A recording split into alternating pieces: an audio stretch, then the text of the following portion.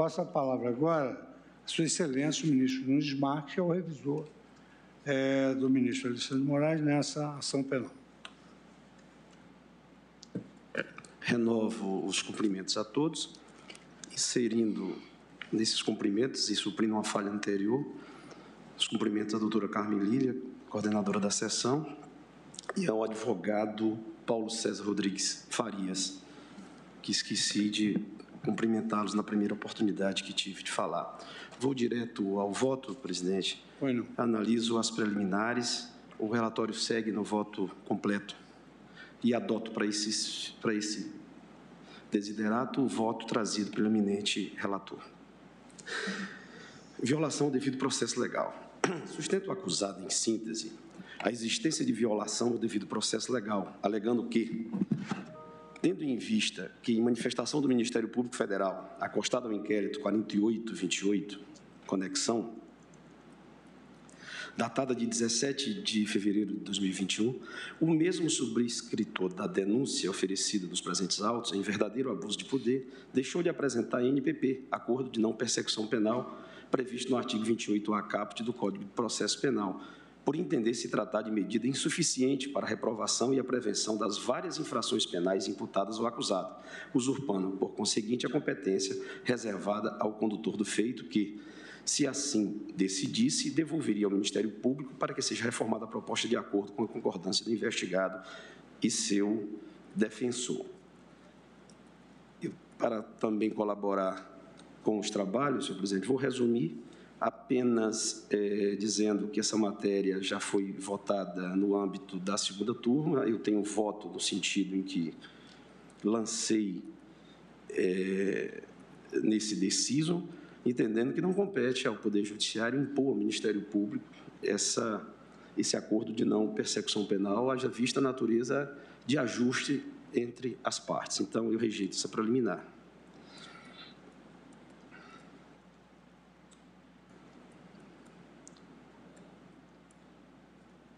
Da mesma forma, rejeito as preliminares sobre os indeferimentos de pedido de produção de prova, também trazidas em sede de agravo regimental, o qual julgo prejudicado adotando os fundamentos trazidos pelo eminente relator.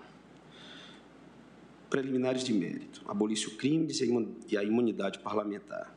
É certo que a jurisprudência desta Corte sedimentou o entendimento segundo o qual só que se falar em abolício crimes quando a nova lei exclui do âmbito de proteção do direito penal fato considerado como crime pela lei anterior. A mera alteração da norma, quando não importar em descriminalização, não há de ser entendida como abolício crimes. Habeas corpus 101035, relator ministro Gilmar Mendes, segunda turma julgada em 26 de outubro de 2010. Segundo Kleber Masson, não há falar em abolício crimes nas hipóteses em que, nada obstante a revogação formal do tipo penal, o fato criminoso passa a ser disciplinado perante dispositivo legal diverso. Nesses casos, verifica-se a incidência do princípio da continuidade normativa ou da continuidade típico-normativa, operando-se alteração geográfica ou topográfica da conduta ilícita. Em direito penal, parte geral, artigos 1 e 20, Forense Rio de Janeiro, página 109. Sustento o acusado que, em 1 de setembro de 2021, foi publicada a Lei 14.197 de 2021, revogando expressamente em seu artigo 4 a Lei de Segurança Nacional, Lei 7.710 de 83. Assim dispondo. Artigo 4 Revogam-se a Lei 7.170, de 14 de dezembro de 83, Lei de Segurança Nacional, e o artigo 39 do Decreto-Lei número 3688, de 3 de outubro de 1941, Lei das Contravenções Penais alega que o Procurador-Geral da República já se manifestou a respeito, enviando parecer a esta Suprema Corte para que não julgue ações que vessem sobre Lei de Segurança Nacional pelo óbvio e concreto fato de sua revogação. E, por conseguinte, não há como deixar de reconhecer que, para efeito de controle abstrato de constitucionalidade, a lei anterior foi abrogada desde a data da publicação da lei superveniente. E assim foi exatamente porque é incompatível com o Estado democrático de direito, porque viola os direitos fundamentais de liberdade de expressão e de manifestação do pensamento, se alimentados no artigo 5 incisos 4 e 9 e no artigo 220 da Constituição Federal. Mesmo que assim não fosse, a Lei 14.197 de 2021 integrou no Código Penal o artigo 359-T, que dispõe Não constitui crime previsto neste título a manifestação crítica aos poderes constitucionais, nem a atividade jornalística ou a reivindicação de direitos e garantias constitucionais por meio de passeatas, de reuniões, de greves, de aglomeração ou de qualquer outra forma de manifestação política com propósitos sociais. Ora, conforme podemos verificar da transcrição dos trechos dos vídeos, os quais o Ministério Público entende como prova dos crimes contra a então Lei de Segurança Nacional, o acusado, ciente de que estaria cobertado pelo manto da inviolabilidade constitucional, fez duras críticas aos poderes constitucionais, sem dúvida com expressões chulas e agressivas, mas indubitavelmente críticas aos poderes constitucionais, e que, nos termos do artigo 359-T do Código Penal, não constitui crime. E, novamente, mesmo que assim não fosse, entendo sim, o acusado estava cobertado pelo artigo 53 caput da Constituição Federal, na redação dada pela Emenda Constitucional 35 de 2001, que exclui, na hipótese nela referida, a tipicidade do fato. Menciono o artigo 53. Os deputados e senadores são invioláveis, civil e criminalmente, por quaisquer de suas opiniões, palavras e votos. Essa cláusula constitucional se destina a proteger, na verdade, não só a função parlamentar, senão também o próprio parlamento, como instituição essencial e imprescindível do Estado democrático de direito. É importante prerrogativa de ordem constitucional. Esta Corte já assentou o entendimento de que as manifestações dos parlamentares, ainda que feitas fora do exercício estrito do mandato, mas em consequência deste, também são abrangidos pela imunidade material. Inquérito 110 DF, relatou o ministro Celso de Mello, publicado no Diário de Justiça da União em 14 de abril de 91. É o que ocorre na hipótese em que, utilizando de sua rede social para informar seus eleitores, portanto, em razão de seu mandato, expôs fatos ocorridos que entendeu injustos, contudo, em linguajar nada recomendável a um parlamentar, o que foi posteriormente reconhecido pelo próprio acusado. Por isso, a preocupação, abro aspas, do Constituinte em dispensar efetiva proteção ao parlamento, em ordem a permitir-lhe, no desenvolvimento das múltiplas funções que compõem o ofício legislativo, o amplo exercício da liberdade de expressão, qualquer que seja o âmbito espacial em que concretamente se manifeste, ainda que fora do recinto da própria Câmara Legislativa. PET 8945, em sede agravo mental, relator ministro Celso de Mello. Nesse contexto, com a devida vênia de entendimento diverso e com esteio na atual jurisprudência desta Corte, julgo improcedente a denúncia com fundamento no artigo 386, inciso 3 do Código de Processo Penal. Colhendo, portanto, essa preliminar. Passo ao mérito. Passo análise do mérito da denúncia propriamente dito, na eventualidade de não acolhimento das preliminares acima expostas no item 2, bem como em relação à imputação da prática do delito do artigo 344 do Código Penal pelo denunciado feito na peça acusatória. Analiso assim o enquadramento dos fatos narrados aos artigos do Código Penal com a redação dada pela Lei 14.197 de 2021. A poupo, Vossas Excelências, da da leitura. É, aqui traz os crimes contra o Estado Democrático de Direito, contra a soberania nacional. Eu transcrevo toda a legislação no voto e prossigo. Na denúncia, o acusado responde pelos crimes previstos no artigo 23 inciso 4, acumulado com o artigo 18 da Lei 7.170 de 83, que dispõe, artigo 23, incitar, inciso 4, a prática de qualquer dos crimes previstos nesta lei. Pena de reclusão de 1 a 4 anos. Artigo 18, tentar impedir, com emprego de violência ou grave ameaça, o livre exercício de qualquer dos poderes da União ou dos Estados. Pena de reclusão de 2 a 6 anos. Da denúncia, extraio as seguintes transcrições dos vídeos do acusado consideradas pelo Ministério Público como crime de incitação. É, no voto, eu inicio é, indicando o, o, tempo de início da fala e o final eu vou poupar dessa leitura para avançar. Eu quero que, são as palavras do acusado, eu quero que o povo entre dentro do STF, agarre o Alexandre de Moraes pelo colarinho dele, sacuda aquela cabeça de ovo dele e jogue dentro de uma lixeira. Logo em seguida, o próprio acusado se justifica e orienta seus eleitores. Eu posso dizer isso e você também pode dizer isso, o que não pode acontecer. Em seguida, vem a explicação dos arroubos acima, a prisão de jornalistas por entender injusto. Esse episódio tenho como manifestação crítica descrita no artigo 359-T, que não é considerado crime.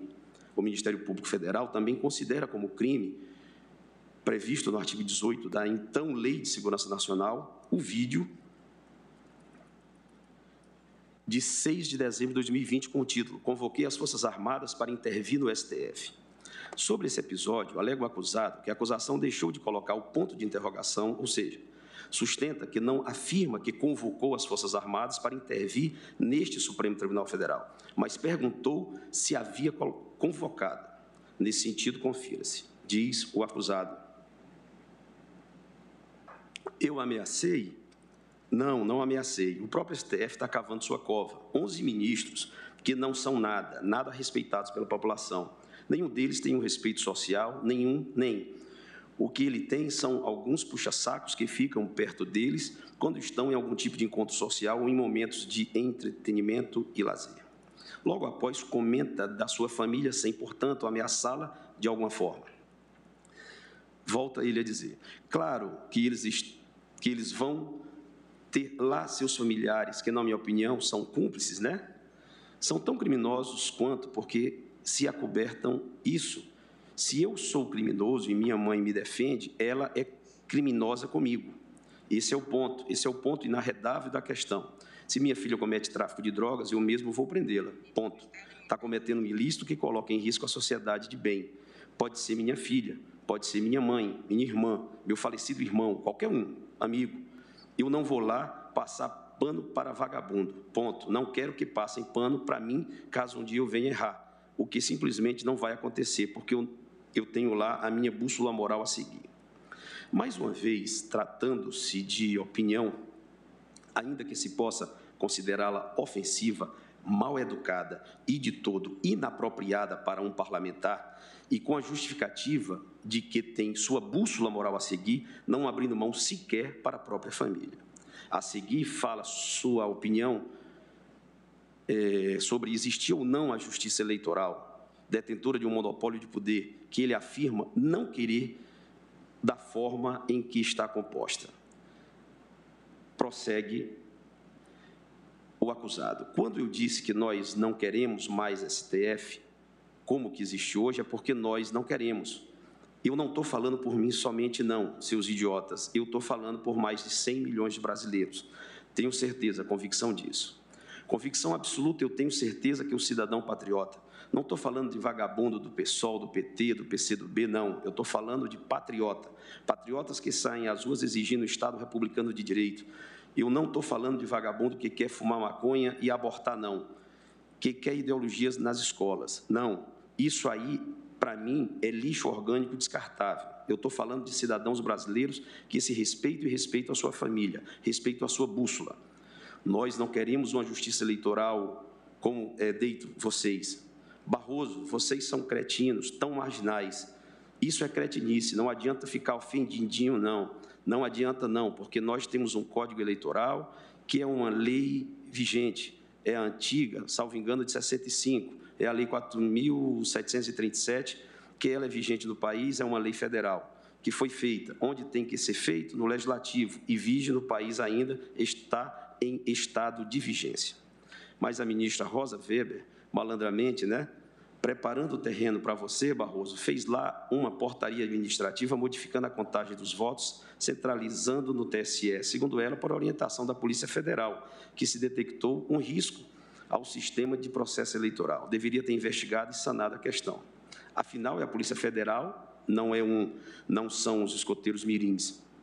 Mas mesmo assim, que você tenha seguido a orientação, você não poderia tanto que entrei com uma ação de descumprimento de preceitos fundamentais, uma DPF, na Procuradoria-Geral da República, e está lá. Estou aguardando a resposta, porque você, Rosa Weber, usurpou a função do legislador, preparando o terreno para o Barrozinho, que agora é ministro do TSE, que inclusive modificou uma portaria que eu não me recordo o número dela, que permitia acesso a órgãos de uma e várias e vários outros aspectos da votação, e vocês modificaram, dificultando o processo de acesso é, cidadão-sistema mas vocês mantêm esse sistema achando que podem. Só que vocês não podem, porque uma lei federal jamais pode ser modificada por uma portaria administrativa. De maneira alguma, isso é um crime. Vocês cometeram não só esse, mas vários outros crimes. Vocês margeiam a lei, são marginais. Vocês são marginais. Todos vocês que detêm essas decisões. Faquim, que decidiu que a Polícia Federal não pode operar, que evidentemente culminou tanto no caso do Damasceno, sargento Damasceno, que morreu com um tiro na Avenida Brasil. Ontem, o Cabo Cardoso com um tiro na cabeça, porque vocês protegem bandidos. Vocês protegem esses bandidos, dão liberdade a eles e, claro, a expectativa da impunidade. Vocês permitem que eles se encorajem cada vez mais para cometerem ilícitos. Eles sabem que tem um escritório de advocacia só para eles, o STF. E quando eu, parlamentar federal, garantido pela Constituição, que evidentemente não posso mais me garantir nela, porque vocês mesmos, guardiões da Constituição, a estão rasgando no meio e limpando suas bundas com ela. É o que vocês estão fazendo. Volto eu. Mais uma vez, opinião com palavras chulas e desonrosas, mas não crime contra a segurança nacional. Não está a instigar qualquer pessoa a fechar o Supremo Tribunal Federal ou o Tribunal Superior Eleitoral. Faz duras críticas sobre decisões tomadas em ambas as cortes, mas não verifica qualquer afirmativa que possa ser considerada instigar crime ou ameaça grave com o fim de impedir o exercício dos poderes constitucionais. E continua o Ministério Público transcrevendo a live do acusado. Abro aspas. Lá no artigo 101 da Constituição, diz que deve se ter entre um dos preceitos notável saber jurídico, qualquer do povo, idoneidade moral acima de 35 anos e menos de 65. Esses são os preceitos para ser um ministro do STF. Pessoas que não são geniais, na minha opinião, não têm o meu respeito como juristas. Lá naquele artigo garante isso, notável saber jurídico, mas para que vocês interpretem interpretem, por exemplo, a questão que vocês estão julgando, não é de sua competência. Vocês deveriam estar julgando lá no artigo 57, parágrafo 4 sobre eleições da Câmara, da presidência da Câmara e do Senado. Não precisa ser jurista, nem ter um notável saber jurídico que vocês dizem possuir. Basta ser alfabetizado para que você leia. Vedada a recondução nas eleições imediatamente subsequentes. Isso é uma letra da lei que não abre nenhum tipo de precedência para que vocês interpretem a norma. Nenhum tipo, porque é muito clara no que está escrito. Ou seja, vocês devem interpretá-la ipsis literis, da maneira como está escrito. Mas vocês acham que podem votar e falar, eu sei o melhor. Vocês acham demais, vocês pensam demais, vocês são a escória do Poder Judiciário, o lixo do Poder Judiciário. Vocês não representam de maneira, agora, se vocês julgam, julgam, e já deixou muito claro o jurista, doutor Ives Ganda, que participou da Assembleia Nacional Constituinte de 88, essa que vocês descumprem. Volto eu, mais impropérios, mais ofensas, mais ainda, não crime contra a segurança nacional. A seguir, vem o que ele entende ser poder moderador, faz uma tentativa de explicar o que ele entende do artigo 142 da Constituição e termina com o desejo de ver reformado este Supremo Tribunal Federal para a criação de uma Corte Constitucional, o que, diga-se, expressamente almejado, inclusive por outros partidos, inclusive de esquerda, e logo, em tese, de espectro político teoricamente oposto ao defendido pelo acusado. Continua, prossegue o acusado que o artigo 142 é um poder moderador, aí vocês Logo, né? Cabelinho em pé, luz vermelha acesa, ai meu Deus, poder moderador, exército, que que vocês querem fazer? Eu sou ministro do STF. Quando bater um cabo e um soldado na porta de vocês, não adianta fechar a porta, porque vai ser arrombada. Sabe por quê? Porque vocês estão abrindo essa precedência, vocês estão descumprindo a Constituição. Sim, sim, as Forças Armadas podem se intervir. E o que nós queremos? Eu confesso que a maioria dos brasileiros pedem isso. Tenho certeza absoluta disso. Sabem por quê? Porque vocês não respeitam a lei. Vocês são tão oligofrênicos. Na verdade, não, não são. Vocês são canalhas mesmo. Que vocês tomam decisões sempre em prol da injustiça. Do crime. O STF não precisava existir, não precisava ele deveria ser extinto e criado uma nova Corte Constitucional com juízes de carreira totalmente imparciais que defendesse a norma independente, se o caso é de esquerda ou de direita, que ele defensa a lei, a letra da lei. Foi escrito. Né?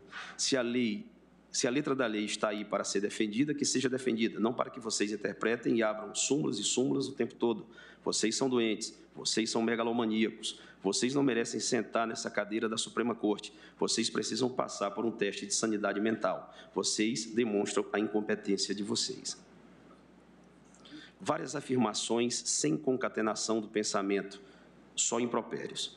Depois volta a falar sobre o Tribunal Superior Eleitoral e se diz indignado com o bloqueio das contas do presidente da República no Twitter.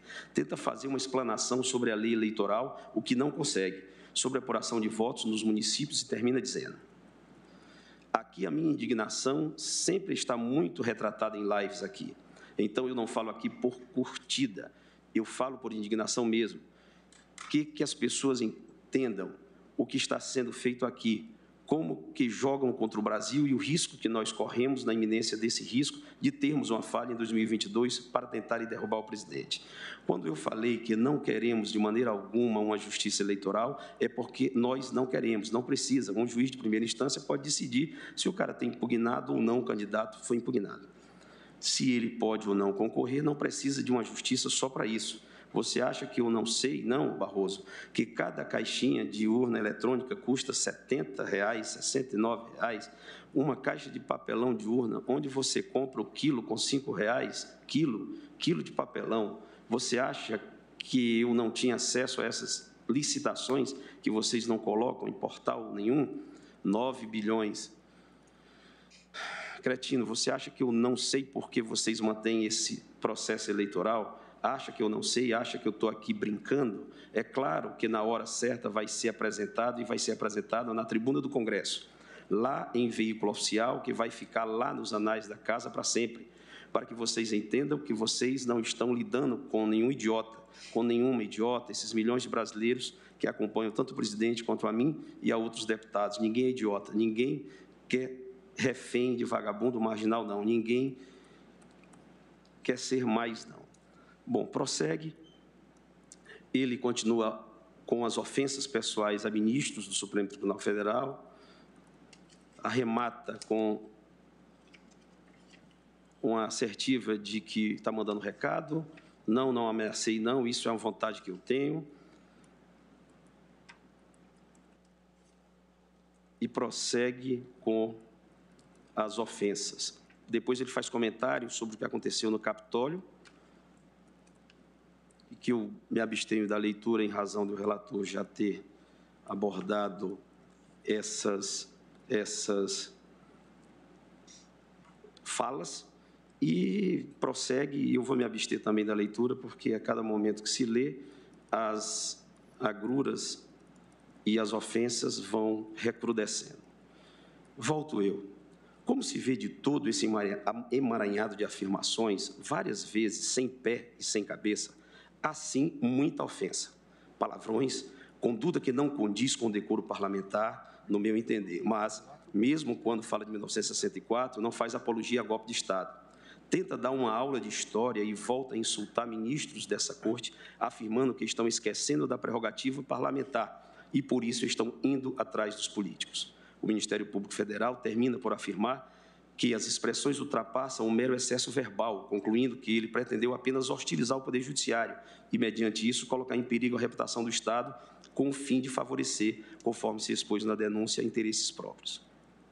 Pois bem, a jurisprudência deste Supremo Tribunal Federal firmou-se no entendimento de que crime político, para os fins do artigo 102, inciso 2, a linha B da Constituição Federal, são os definidos na Lei de Segurança Nacional, que define os crimes contra a segurança nacional, a ordem política e social, desde que os fatos se amoldem às disposições gerais. Título 1, artigos 1 e 2 da Lei 7.170, de 83, que dispunha. Que dispunha. Esta lei prevê os crimes que lesam expõem perigo de lesão. E o artigo 2 quando o fato estiver previsto como crime no Código Penal, no Código Penal Militar ou em leis especiais, levar-se-ão em conta para a aplicação dessa lei. A motivação e os objetivos do agente a lesão real ou potencial aos bens jurídicos mencionados no artigo anterior. Nesse sentido, o plenário desta Corte definiu, por ocasião do julgamento do RC 1468, que só há crime político quando presentes os pressupostos do artigo 2 da Lei de Segurança Nacional, Lei 7.170 de 83, ao qual se integram os do artigo 1 A materialidade da conduta deve lesar real ou potencialmente ou expor a perigo de lesão à soberania nacional.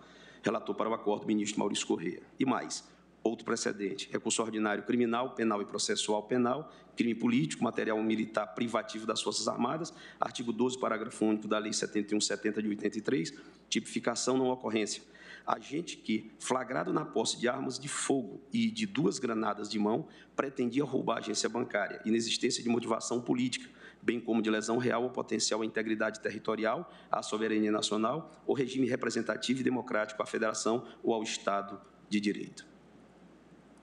Incompetência constitucional da Justiça Federal para processar e julgar ação, nulidade do processo decretada ab início, recebimento da denúncia por juiz constitucionalmente incompetente, o que não interrompe o curso do prazo prescricional.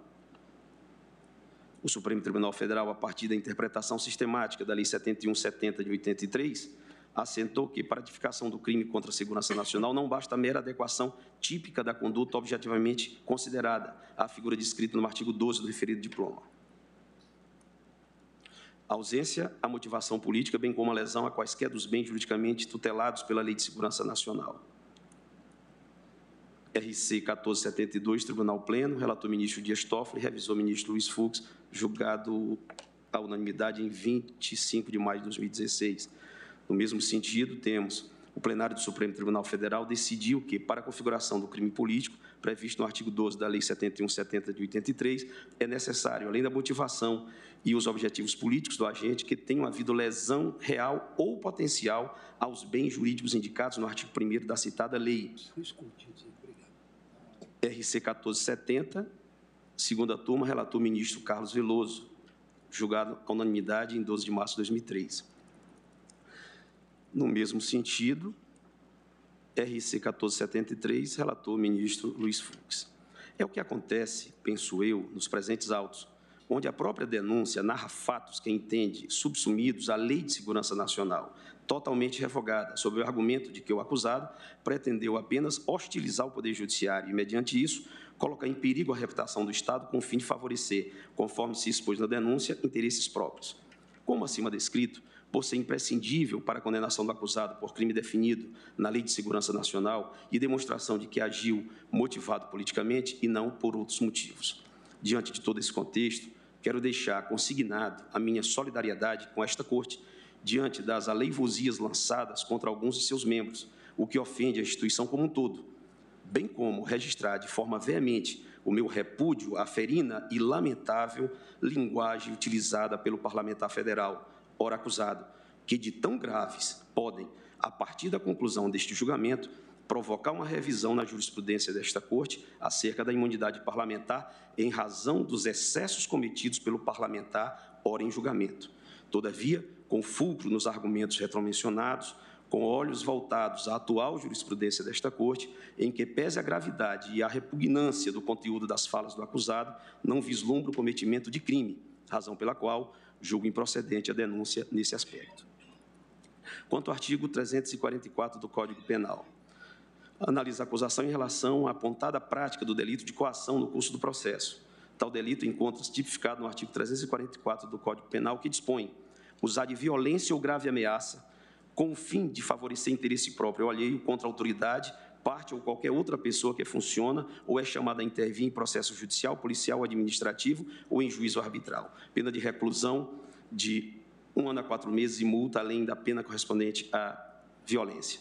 O crime de coação no curso do processo é formal, ou seja, não exige para sua consumação resultado naturalístico, bastando para sua configuração, sob o aspecto objetivo, a prática de uma das condutas descritas no núcleo do tipo, usar de violência ou grave ameaça, contra qualquer pessoa que intervenha no processo, seja autoridade, parte ou testemunha, sendo irrelevante que a ação delitiva produza ou não algum resultado.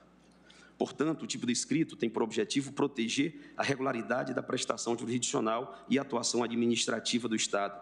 A conduta nuclear do tipo consiste no uso de violência ou grave ameaça contra a autoridade, parte ou qualquer outra pessoa que funciona, ou é chamada a intervir em processo judicial, policial, administrativo ou em juízo arbitral. Deve estar presente o especial fim de favorecer interesse próprio ou alheio. É elementar do tipo que o processo esteja em curso, porém, para a configuração da conduta típica, não se exige que o resultado pretendido seja alcançado, nem tampouco a referência ao destino do processo. Em relação à expressão grave ameaça, comenta Guilherme de Souza Nuzzi, no seu Código Penal comentado 21ª edição forense, abro aspas, é preciso como o próprio tipo penal exige, ser realmente intensa, de modo a causar potencial aflição à vítima. Como consequência, necessita cessear-se de credibilidade, verossimilhança e eficiência. Cercar-se de credibilidade, verossimilhança e eficiência. Entende-se como uma promessa de causar um mal futuro, possível, verossímil e considerável, capaz de intimidar a vítima, irrelevante, pois, que a vítima efetivamente sinta-se intimidada. Com efeito, da narração dos fatos descritos na exordial acusatória, não se evidencia ameaça capaz de concretamente causar mal presente, quanto mais futuro. As expressões citadas pelo Ministério Público Federal como de autoria do denunciado, consideradas grave ameaça, pretendeu hostilizar o Poder Judiciário, jogar um ministro dentro da lixeira, retirar o ministro na base da porrada, nada mais são do que ilações, conjecturas inverossímeis, sem eficiência e credibilidade, incapazes, portanto, de intimidar quem quer que seja, não passando de bravatas. O crime de ameaça é essencial ao tipo do artigo 344.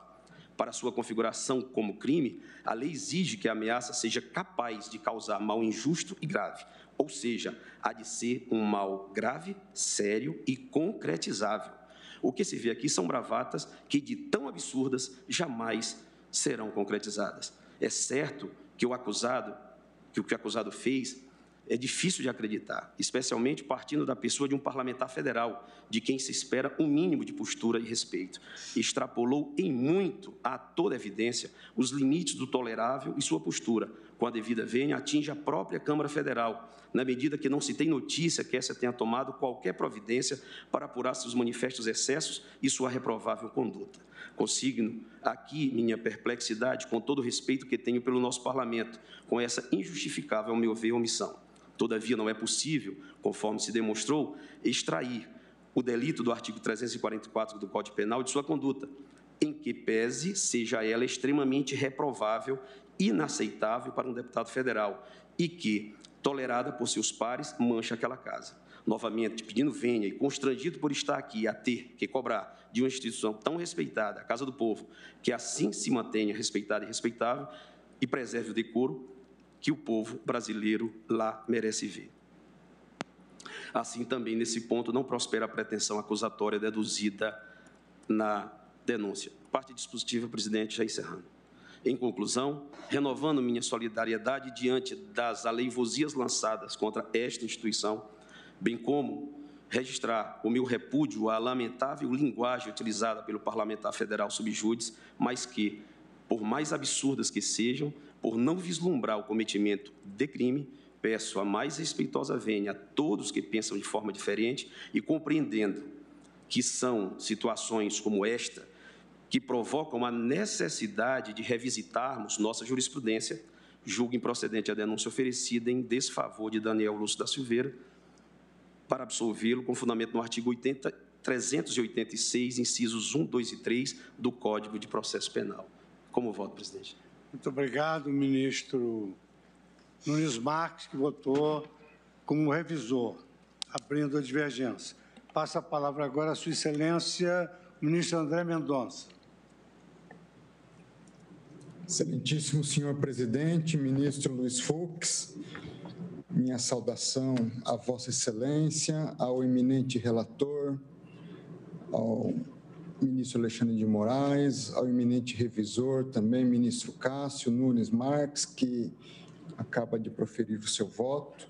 Minha saudação à eminente vice-presidente, ministra Rosa Weber, a ministra Carmen Lúcia, aos demais ministros que nos acompanham.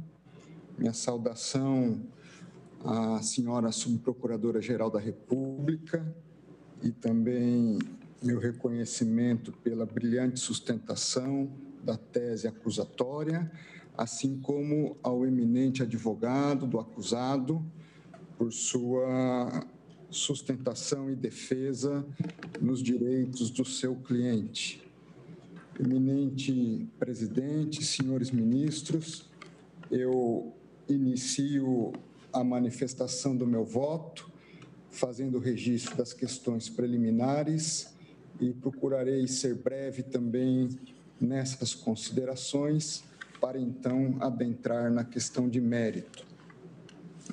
É, em caráter preliminar, primeiramente registro a pendência de um agravo regimental é, por parte da defesa, questionando a não, a não realização de diligências requeridas com base e na fase do artigo 10 da Lei 8.038 de 1990.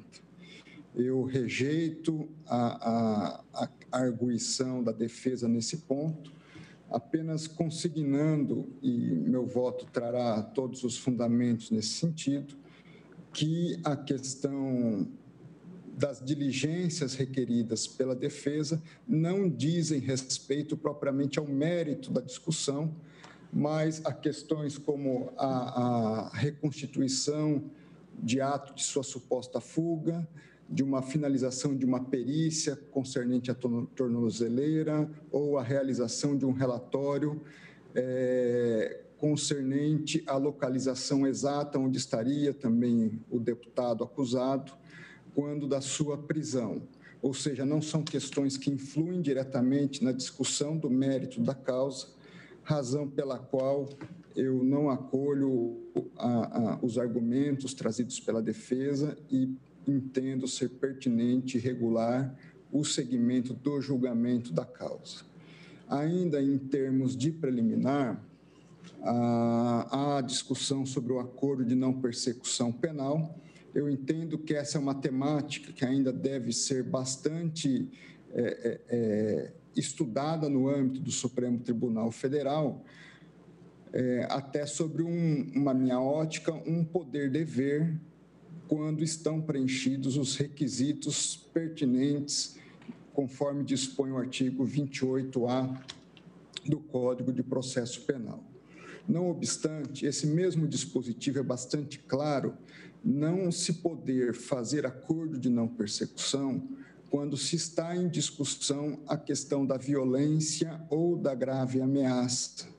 Portanto, ainda que nós possamos entender por este poder-dever de oferecimento do acordo, é, há um requisito objetivo da lei que, pelo contexto da própria acusação, ele não, não permite ou há uma impossibilidade jurídica da realização é, é, desse tipo de acordo a partir da própria descrição fática da conduta imputada ao acusado.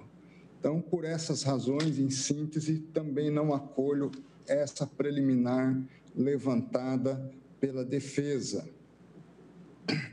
Uma outra questão preliminar que deve ser abordada e julgada diz respeito àquilo que já foi também considerado pelo próprio é, relator, ministro Alexandre de Moraes, em relação a abolício crimes, é, em relação, em função da, da revogação da Lei de Segurança Nacional. E a peça acusatória traz a descrição de condutas que estariam é, enquadradas em dois dispositivos ou em dois tipos de crimes é, previstos na extinta Lei de Segurança Nacional. E eu trato, então, dessas duas situações específicas para avaliar se houve, de fato, abolício crimes em relação a, a, condutas tipificadas na Lei de Segurança Nacional, em função da nova legislação é, que trata da matéria. Nesse aspecto, eu registro que a denúncia anota basicamente dois, duas condutas em relação ao acusado. Em primeiro, em função das declarações feitas em fevereiro de 2021, quando ele teria incitado a animosidade entre as Forças Armadas e o Supremo Tribunal Federal, o que estaria enquadrado no artigo 23, inciso 2 da Lei de Segurança. O segundo, por falas proferidas nos dias 17 de novembro de 2020 e 15 de fevereiro de 21, eh, em relação às quais haveria o enquadramento no artigo 23, inciso 4, cumulado com o artigo 18, ambos da Lei de Segurança. No entanto, com a revogação desses dispositivos, a conduta prevista no artigo 23, inciso 4, cumulada com o artigo cumulado com o artigo 18 da Lei de Segurança, no meu entender, não há mais uma adequação típica em qualquer nova norma penal vigente no país. Em outras palavras, entendo que a conduta em si deixou de ser criminosa, não havendo que se falar, portanto, em tipicidade penal para as condutas então previstas nesse dispositivo, artigo 23.4, cumulado com 18 da extinta Lei de Segurança Nacional. De modo mais detalhado, eu faço uma comparação, e aqui eu, eu abro uma divergência nesse ponto em relação ao eminente relator, que entendeu sua Excelência o ministro Alexandre de Moraes, que estariam presentes tanto na legislação revogada como na atual, de modo bem específico, no artigo 359, letra L do Código Penal, estariam presentes as mesmas elementares do tipo, e aqui eu faço referência ao item 24 do meu voto, onde eu transcrevo os dispositivos da lei antiga com e também da lei atual. É, a, a fala essencial aqui a esse respeito diz tem guarda concerne, é, é relação com o fato de, embora tratarem-se de crimes similares, nós não temos, com a devida vênia ao entendimento do ministro Alexandre, as mesmas elementares do crime. São tipos que guardam correlação, mas não guardam identidade. Os elementos de um não são correspondentes aos elementos do outro. E aqui, fazendo a leitura do artigo 18 da extinta, da revogada Lei de Segurança, o crime está em tentar, abre aspas, tentar impedir, com o emprego da violência ou da grave ameaça, o livre exercício de quaisquer poder, qualquer dos poderes da União ou dos Estados. Já o artigo 359L do Código Penal não é tentar impedir o livre exercício dos poderes, é tentar, também com o emprego da violência ou da grave ameaça, abolir o Estado democrático de direito. Aqui nós temos a tentativa, mas prossegue o dispositivo. Como isso? Impedindo ou restringindo o exercício dos poderes. Se na legislação revogada estava tentar impedir o livre exercício, aqui eu tenho que, de fato, impedir ou restringir. Porque a tentativa diz respeito não ao impedimento ou à restrição do exercício dos poderes, mas a tentativa diz respeito à abolição do Estado democrático de direito, que é verificável a partir dos resultados naturalísticos do efetivo impedimento e restrição do exercício dos poderes. Então, eu não estou aqui avalizando a conduta do acusado. Estou aqui a comparar um dispositivo com o outro. E que, apesar de todo o caráter negativo e reprovável da conduta do acusado, essa conduta, que se enquadrava perfeitamente na legislação revogada, não se enquadra na legislação atual. E, de certa forma, eu coloco aqui, me permitem, com a devida vênia, mas parafraseando o eminente relator, uma coisa é a aptidão para algo. Outra é a efetiva ocorrência de algo. A lei revogada punia a aptidão para. A lei atual demanda a efetiva ocorrência do resultado, que é o impedimento ou a restrição dos poderes. Porque a tentativa está relacionada à abolição do Estado democrático de direito. Então, sobre esse aspecto, eu entendo que houve abolício crimes, e que, apesar do alto grau de reprovabilidade da conduta do acusado, não há como enquadrá-la no tipo penal, devendo, portanto, a meu juízo, ser ele absolvido sob, sob este ponto em relação a esta acusação. Por outro lado, em relação ao artigo 23, inciso 2 da Lei de Segurança Nacional, de fato, houve uma nova legislação que está no parágrafo único do artigo 286, é esta sim que guarda correlação direta com a lei revogada. Ou seja, em relação à acusação dirigida ao acusado de prática do ilícito, do crime previsto no 23, artigo 23, inciso 2 da Lei de Segurança Nacional, nós temos uma correspondência normativa efetiva nos mesmos moldes ao que foi estipulado no parágrafo único do artigo 286 do Código Penal. Se há essa correspondência em relação a este crime, eu vou adentrar no mérito para avaliar se houve ou não crime. Então, eu passo à análise do mérito. Dentro do mérito, da questão de mérito, eu acho pertinente, entendo deveras pertinente, uma avaliação da questão da imunidade parlamentar. E eu vou deter um pouco mais de tempo na avaliação deste tópico.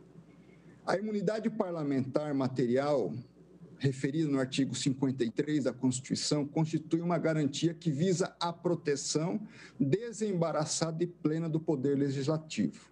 Sua gênese não está relacionada a um privilégio pessoal, por parte dos congressistas, mas há uma prerrogativa indispensável ao sistema de freios e contrapesos e a garantia do próprio Estado democrático de direito.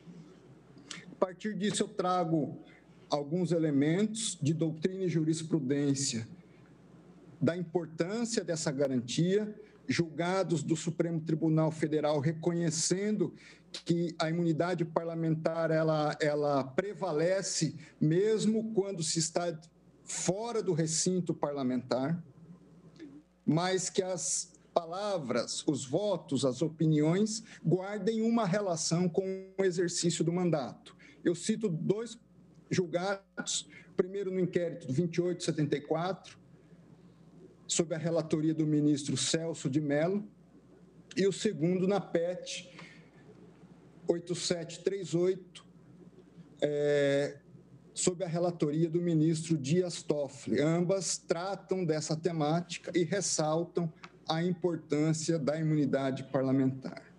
Prossigo eu. Justamente por não ser um privilégio pessoal, a proteção da norma se restringe às manifestações que guardem relação com o exercício do mandato ou às atividades próprias de um congressista.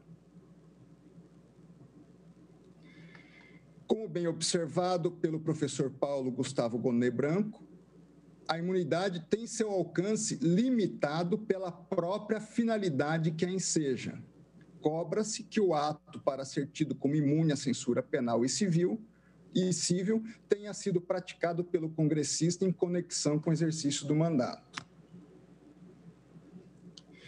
Se é assim, um novo tópico por mim aberto, da necessária preservação da imunidade no caso concreto.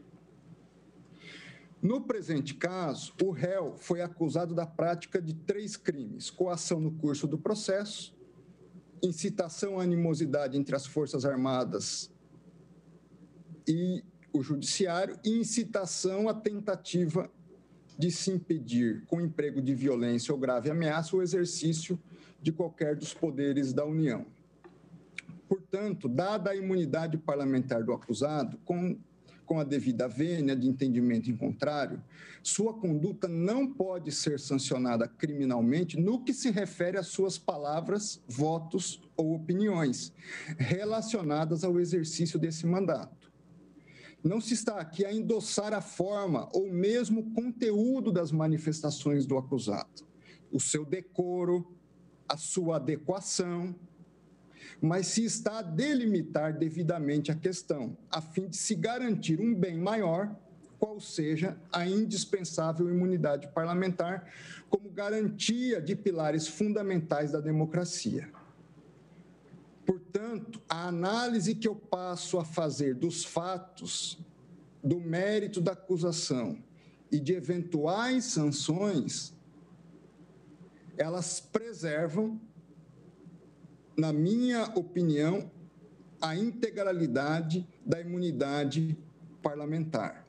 Em definitivo, meu voto preserva, incólume, a questão da imunidade do parlamentar e avalia a sua conduta exclusivamente no espectro do que, a meu ver, não guarda relação ou conexão com essa atividade, ou, de modo mais específico, que esteja relacionado condutas relacionadas à obtenção de benefício próprio e ilícito do acusado.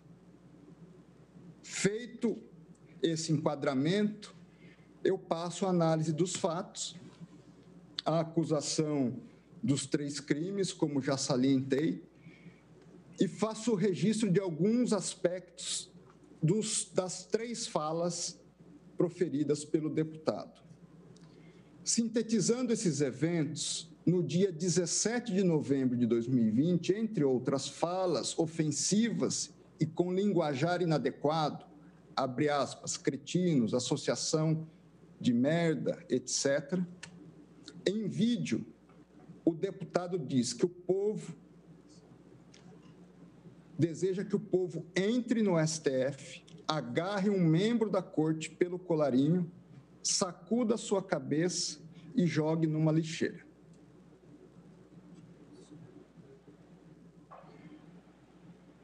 No dia 6 de dezembro, entre novos xingamentos, que eu vou pular, até pela. não ser até apropriado, eu diria, em alguns aspectos para menores de idade, o deputado avisa que, se continuar dessa maneira, o Supremo e a Justiça Eleitoral não vão, vão mais existir, pois ele e os seus apoiadores não permitirão. No mesmo vídeo, após desafiar os ministros a lhe prenderem, diz: um, possuir relatórios que comprovariam a fraude nas urnas, advertindo o integrante do tribunal a se preparar, pois a sua batata estaria assando. E dois, ter conhecimento de fraudes em licitações que comprometeriam ministros desse tribunal e cujas provas seriam apresentadas oportunamente. Três, que os ministros estariam esticando a corda que não adiantaria depois ficar de chororô. Terceiro evento, 15 de fevereiro. Novamente, novamente entre vários xingamentos, o deputado 1, um, reiteradamente desafia os ministros a prenderem um general. Dois, afirma que já imaginou várias vezes um ministro, abre aspas, levando uma surra na rua, assim como todos os demais integrantes da corte. E três, diz que se depender dele, colocaria todos os vagabundos, a começar pelos ministros do Supremo, na cadeia. Quatro, declara, declara saber que seria perseguido pelos ministros do Supremo pelo resto de sua vida e que, então, também os perseguiria. E cinco, afirma que o AI-5 caçou os ministros do Supremo e, na época, aquilo foi uma depuração e que, portanto, um ministro dessa corte deveria prender um general. Essas são, assim, a síntese fática da conduta do acusado. Passo agora a análise dessas condutas à luz do crime de coação no curso do processo. O réu é acusado da prática do crime previsto no artigo 344 do Código Penal, que assim dispõe: usar de violência ou grave ameaça o fim de favorecer interesse próprio ou alheio contra a autoridade, parte ou qualquer outra pessoa que funciona ou é chamada a intervir em processo judicial, policial ou administrativo ou em juízo arbitral. Conforme se depreende da simples leitura do tipo penal em tela, a partir do uso de violência ou grave ameaça, o propósito do autor da conduta pode ser o alcance de um benefício ou a criação de uma circunstância que constrange a aplicação de medidas jurídicas contrárias ao seu interesse ou de terceira pessoa. O objetivo jurídico do delito é a administração da justiça, cujas autoridades e as pessoas que funcionem ou sejam chamadas a intervir nos feitos devem ser protegidas contra intimidações. Assim exposta a questão, xingamentos e palavreado grosseiro à parte, de tudo que foi dito pelo deputado réu em suas manifestações trazidas pela acusação nesses autos, entendo que efetivamente constituem grave ameaça, a grave ameaça exigida para a configuração do tipo penal 1, a exortação para que o povo entrasse no Supremo agarrasse o ministro pelo colarinho e o jogasse em uma lixeira, conforme vídeo publicado, peço perdão aqui pelo telefone tocando, conforme vídeo publicado no dia 17 de novembro de 2020. Dois, a afirmação de que se as coisas continuassem daquela maneira, só um minuto, por gentileza, só um minuto.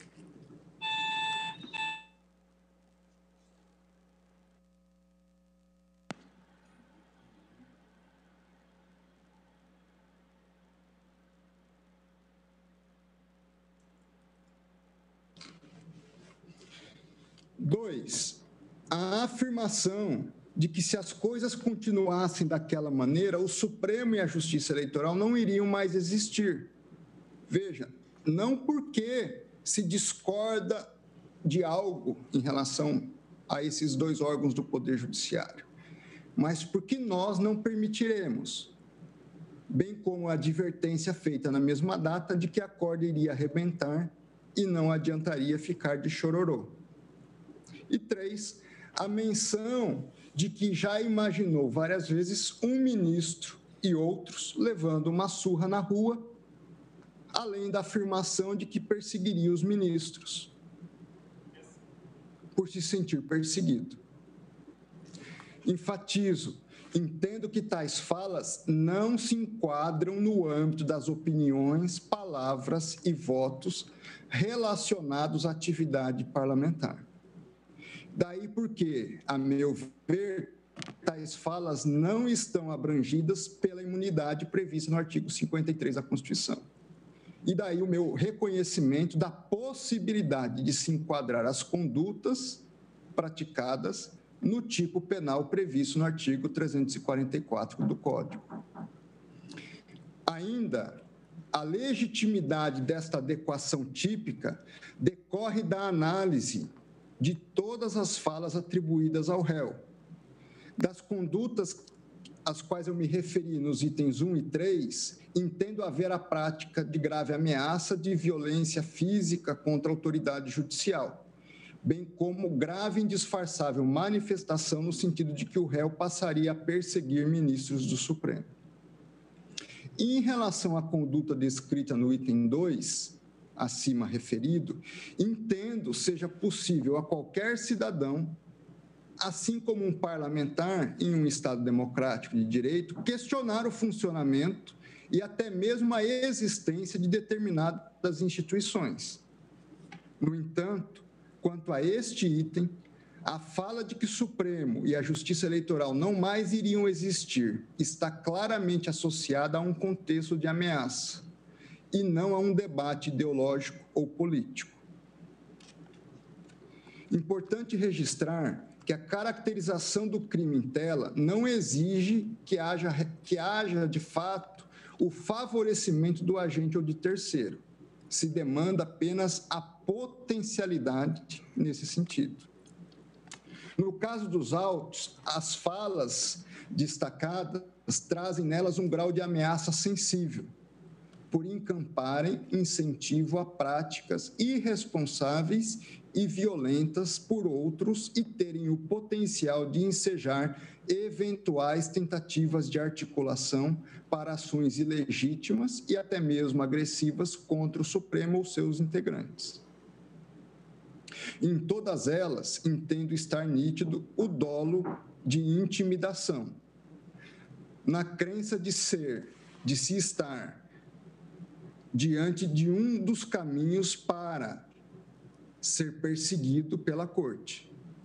O dolo intimidatório nos trechos destacados é reforçado pela análise dos contextos nos quais inseridos, marcados por palavrões e xingamentos. Reforço ainda que, se por um lado é possível afirmar como legítimo o desejo de que o Supremo seja substituído por uma Corte Constitucional formada apenas por magistrados concursados, ou que a Justiça Eleitoral seja extinta enquanto ramo autônomo do Poder Judiciário, por outro, não se pode ter como abarcada na atividade parlamentar a, ex, a exortação de que o Supremo seja invadido e um dos seus ministros agredidos fisicamente jogado em uma lixeira não há como afirmar que isso esteja relacionado às atividades do Poder Legislativo. Não se trata, portanto, aqui de punir opiniões, mas de se verificar nas manifestações do acusado se há ameaças que configuram o tipo penal previsto no artigo 344 do Código Penal. Há de argumentando, tanto, declarações que instigam ou exortam, ainda que na forma de mera revelação de desejo. Um, que autoridades constituídas sejam agredidas fisicamente na rua. Dois, que alguma instituição da República, quer o Supremo, quer uma Casa do Congresso, quer a Presidência da República ou qualquer outra instituição pública, seja invadida ou ainda que um dos seus membros seja jogado em uma lixeira, esfaqueado, decapitado ou morra. Ele não disse isso.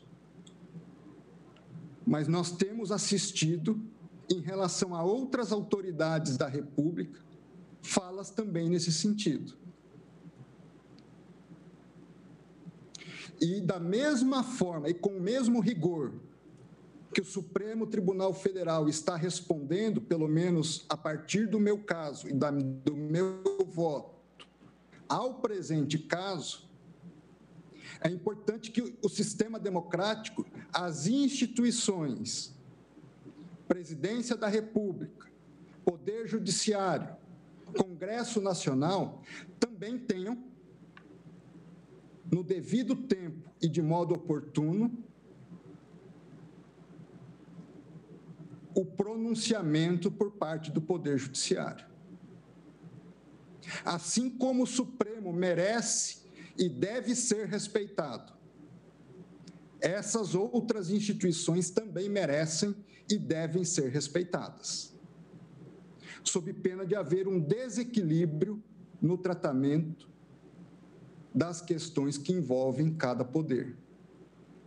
É bem verdade que o deputado alertou em muitas das suas falas que não estava fazendo ameaças ou que não estava incentivando os outros a agirem daquela forma, mas apenas revelando, entre, entre aspas, um desejo dele. No entanto, pelo contexto, fica nítido o caráter de ameaça e de incentivo em muitas das suas manifestações a mera negativa nominal de que esteja fazendo ameaças ou exortando violências não possui o condão de alterar a essência do conteúdo do que é dito. Desse o nome que quiser. Nesse sentido, eu entendo que os fatos se enquadram no disposto do artigo 344 do Código Penal. Com relação ao artigo 23, inciso 2 da antiga Lei de Segurança Nacional, que corresponde ao atual 280, artigo 286, parágrafo único do Código Penal, eu entendo pela absolvição do acusado, até porque o próprio Ministério Público Federal assim o entendeu, e, salvo o melhor juízo, foi também nesse sentido o voto do eminente relator. No tocante, passo rapidamente a questão da dosimetria da pena.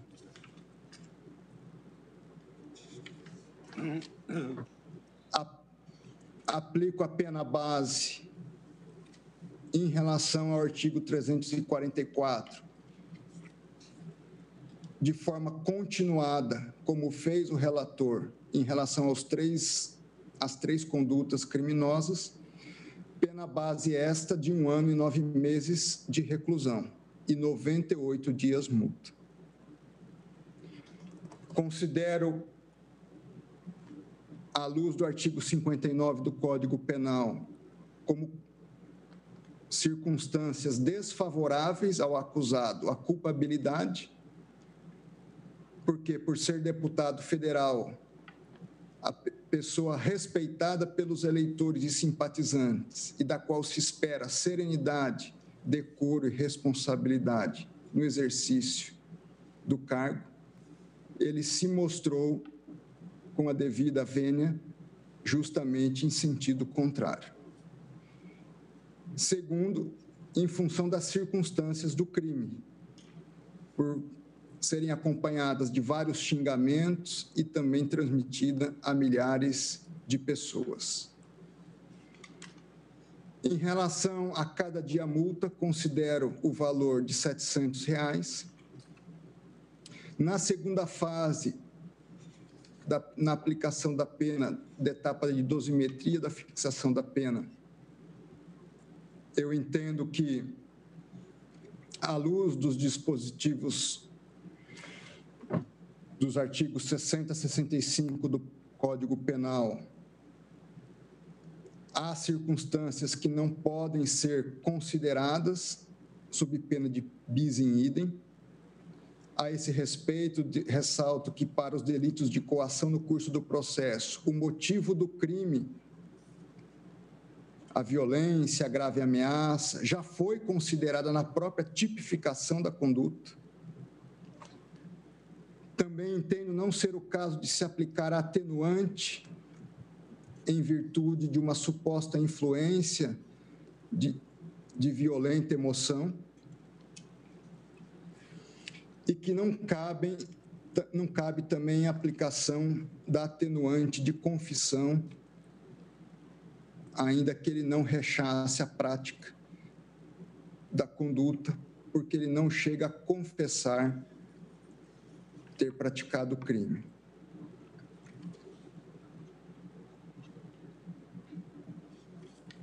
Partindo assim para o dispositivo da sentença, da decisão, perdão, eu julgo parcialmente procedente a pretensão acusatória para, nos termos do artigo 344, combinado com o artigo 71 ambos do Código Penal, condenar o réu Daniel Lúcio da Silveira pena de dois anos e quatro meses de reclusão em regime inicial aberto e, considerando as agravantes, 130 dias multa no valor unitário de 700 reais, o que totalizam 91 mil reais. Porém, nos termos do artigo 386, incisos 6 e 3 do Código de Processo Penal, absolvê-lo, respectivamente, das acusações de incitar animosidade entre as Forças Armadas e o Supremo Tribunal Federal e de incitar a tentativa de impedimento com base em violência ou grave ameaça do livre exercício do Poder Judiciário.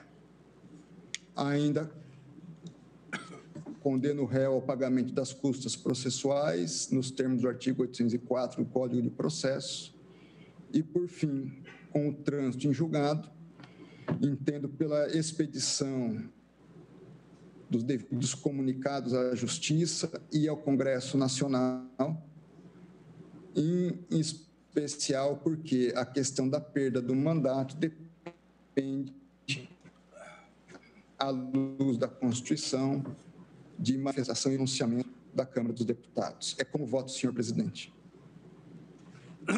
Muito obrigado, ministro André Mendonça. Passa a palavra agora a sua excelência, o ministro Edson Fachin. Senhor presidente, saúdo vossas excelências, eminentes ministras, os eminentes pares, de um modo especial sua excelência o relator, ministro Alexandre de Moraes, saúdo as sustentações orais, tanto do Ministério Público quanto da Defesa. Senhor presidente, já há três votos que bem deslindaram tanto as questões preliminares quanto ao mérito, bem assim a dosimetria da pena respectiva.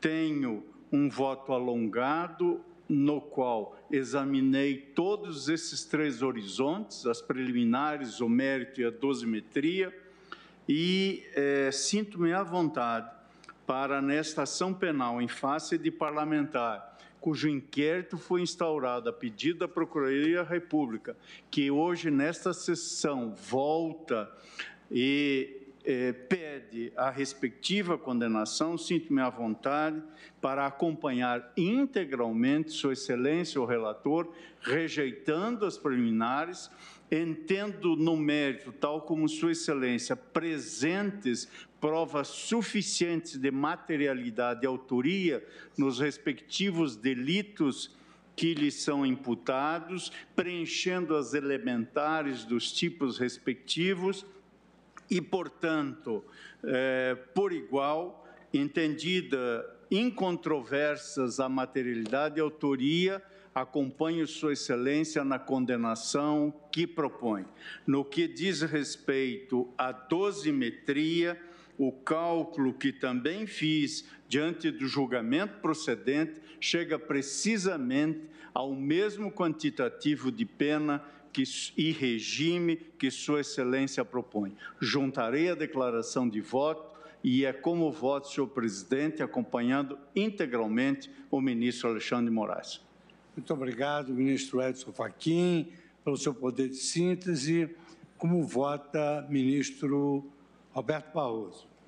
Muito boa noite, presidente, prezados colegas, senhora vice-presidente, ministra Rosa Weber, ministra Carmen Lúcia aqui conosco no plenário. Cumprimento igualmente o eminente ministro Alexandre de Moraes, o relator, e saúdo também os votos do ministro Nunes Marques, do ministro eh, André Mendonça e cumprimento a sustentação oral da vice-procuradora geral da República, a doutora Lindora Maria Araújo, que nos honra com a sua presença hoje aqui no tribunal.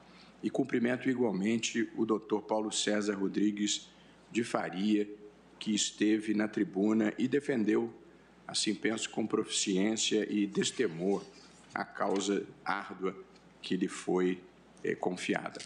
Como também todos os colegas já estabeleceram, presidente, nós temos aqui uma ação penal fundada em três grupos de acusações. Coação no curso do processo por ataques aos ministros depois de instaurado o inquérito, por incitar a animosidade entre as Forças Armadas e as instituições civis, e, em terceiro lugar, por incitar a conduta de tentar impedir, com emprego de violência ou grave ameaça, o livre exercício de qualquer dos poderes. Eu, presidente, assento desde logo na linha do que já é, votou o ministro Alexandre de Moraes e igualmente o ministro Luiz Edson Fachin, que o acompanhou integralmente, que aqui não vislumbra vestígio de violação à liberdade de expressão, nem tampouco à imunidade parlamentar. É pacífico nessa corte e no mundo em geral que a liberdade de expressão não é um direito absoluto e precisa ser ponderada com outros valores e direitos constitucionais, inclusive a democracia, o funcionamento das instituições e a honra das pessoas. E a imunidade parlamentar, como igualmente assentou o ministro Alexandre de Moraes, não é um salvo-conduto para a prática de crimes, sob pena de se transformar o Congresso Nacional em um esconderijo de criminosos. E, evidentemente, não há democracia sem política. Política é um gênero de primeira necessidade e precisamos de um Congresso forte, independente e preservado desse tipo de mácula. Eh, presidente, no fundo, a prova cabal de que não se trata de liberdade de expressão exercida em parâmetros lícitos é que as condutas de que nós estamos falando aqui consistiram em um ameaça de agressão física a ministros do Supremo. Dois, incitação à invasão e ao fechamento do Congresso Nacional e do Supremo Tribunal Federal. Três, criação de animosidade entre as Forças Armadas e as instituições civis. E quatro, com uma lista de ofensas e de xingamentos às pessoas, que é sinal dramático dos tempos que nós estamos vivendo de absoluta decadência ética. E eu acho que quem pensa, ministra Carmen Lúcia, ministro Fachin, que isso possa ter sido exercício legítimo de liberdade de expressão, deveria separar os vídeos e juntar a família na sala, os avós, os pais e os filhos, e passar os vídeos, os pavorosos vídeos, e em seguida dizer para os seus filhos: esse é o país que nós queremos. Esse é o padrão moral que nós desejamos para o Brasil. Nós consideramos isso normal. E, portanto, vocês podem seguir esse caminho porque não há nenhuma consequência. E se a família achar que isso é bom, e se for esse o país que eles querem criar, paciência. Portanto, presidente, não considero pouco grave o que aconteceu e acho que o esforço de vitimização do criminoso é igualmente um equívoco, como se o Supremo estivesse perseguindo uma pessoa de conduta ilibada até os dias de hoje. Mas a denúncia do Ministério Público, a denúncia do Ministério Público, documenta o seguinte: o denunciado é ex-soldado da Polícia Militar do Rio de Janeiro, instituição na qual se notabilizou pelo mau comportamento, faltas, atrasos e gravação e postagem de vídeos ofensivos na rede social. Não começou agora. E, diz o Ministério Público, não o relator, o ministro Alexandre de Moraes, o Ministério Público diz, segundo consta do boletim disciplinar reservado da Polícia Militar do Rio, o acusado praticou numerosas transgressões funcionais que lhe concederam, que lhe renderam um total de 26 dias de prisão, 54 dias de detenção 14 repreensões e duas advertências, bem como a abertura de um processo administrativo disciplinar pela Corregedoria, que levou à sua exclusão da Polícia Militar no dia 4 de outubro subsequente. Portanto, a carreira não começou com os ataques ao Supremo. Data 4 de outubro, em que quebrou, ao lado de outros políticos, placa em homenagem a Marielle Franco, vereadora assassinada covarde e brutalmente em 14 de março de 2018, na capital fluminense. Uma celebração do homicídio. O próprio Ministério Público ainda transcreve. Em maio de 2020, o réu postou um vídeo no Twitter no qual ameaçava descarregar sua arma em opositores de governo e que foi impedido de embarcar em um voo por se recusar a usar máscara de proteção contra a Covid-19, que era imposta por decisão da ANAC, da agência reguladora competente.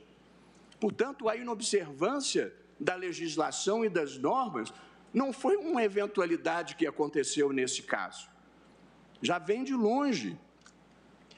O réu declarou em live de 19 de abril de 2020, na qual incita a população a fazer um cerco e uma invasão aos edifícios sedes do Supremo Tribunal Federal e do Congresso Nacional, a fim de retirar os respectivos ocupantes na base da porrada. É, essa é a pessoa que se está querendo vitimizar como sendo perseguido pelo Supremo Tribunal Federal. Ainda na denúncia do Ministério Público, em vídeo intitulado Na ditadura você é livre, na democracia você é presa, sustenta que um ministro fraudou as eleições de 2020. E em relação a esse ministro, diz ainda: me prendam que tenho os relatórios vindo aí para vocês sobre a fraude nas urnas. Fulano, tu te prepara, Fulano. Existe um tempo para tudo. Existe um tempo para tudo. Te prepara que tua batata está assando e está assando bem. Só que tem um problema: vocês não contavam com políticos como eu. Portanto, quem estiver exibindo o vídeo na sala para a família deve registrar que, diante da discordância, que é legítima, eles também consideram que é legítimo ameaçar e inventar mentiras. Ainda na denúncia do Ministério Público, consta o Supremo Tribunal Federal e a Justiça Eleitoral não vão mais existir, porque nós não permitiremos.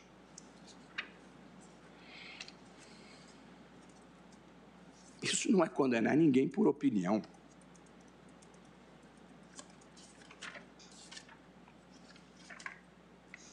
E, na sequência, outra calúnia contra a colega, dizendo com todas as letras que vende habeas corpus e vende sentença.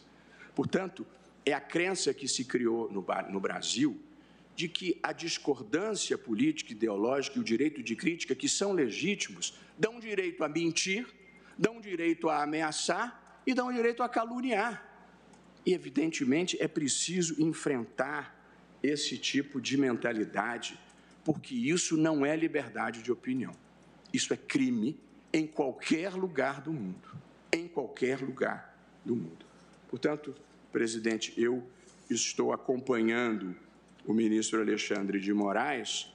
É, inclusive, eu, eu, eu o condenaria pelas três imputações, mas acho que nas circunstâncias mais adequado temos uma posição uníssona alinhada com o relator e, portanto, no tocante à coação no curso do processo, quando se diz eu quero que o povo. Portanto, havia um processo em curso e as ameaças aos juízes.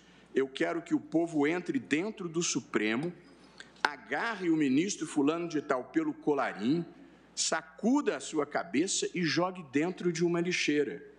Pessoal que está exibindo o filme na sala de casa para os filhos deve dizer que concorda com isso, que acha que isso não é um comportamento delituoso. Ainda na questão de coação no curso do processo, o Supremo e a Justiça Eleitoral não vai mais existir porque não permitiremos. E ainda, o réu sugere dar uma surra bem dada em um dos ministros do Supremo Tribunal Federal. Se isso não é coação no curso do processo, eu não sei o que, que seria. Em seguida, no tópico na acusação incitar a animosidade entre as Forças Armadas e as instituições civis, há uma clara instigação a um confronto, sugerindo a prisão do ex-comandante do Exército para gerar uma crise institucional e uma quebra da institucionalidade. Isso não é normal. O ataque à democracia não é um legítimo exercício de crítica, não nessa dimensão em que se pregue abertamente o golpe de Estado, que inclusive já tem tipificação na nova lei. E, por fim, tentar impedir com o emprego de violência ou grave ameaça o livre exercício dos poderes.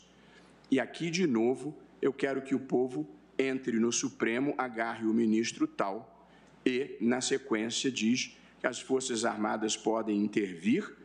É isso que nós queremos, a maioria dos brasileiros pede isso, tenho certeza absoluta disso. O Supremo não precisa existir, ele deve ser extinto, fora uma imensa quantidade de ofensas chulas, grosseiras, lamentáveis.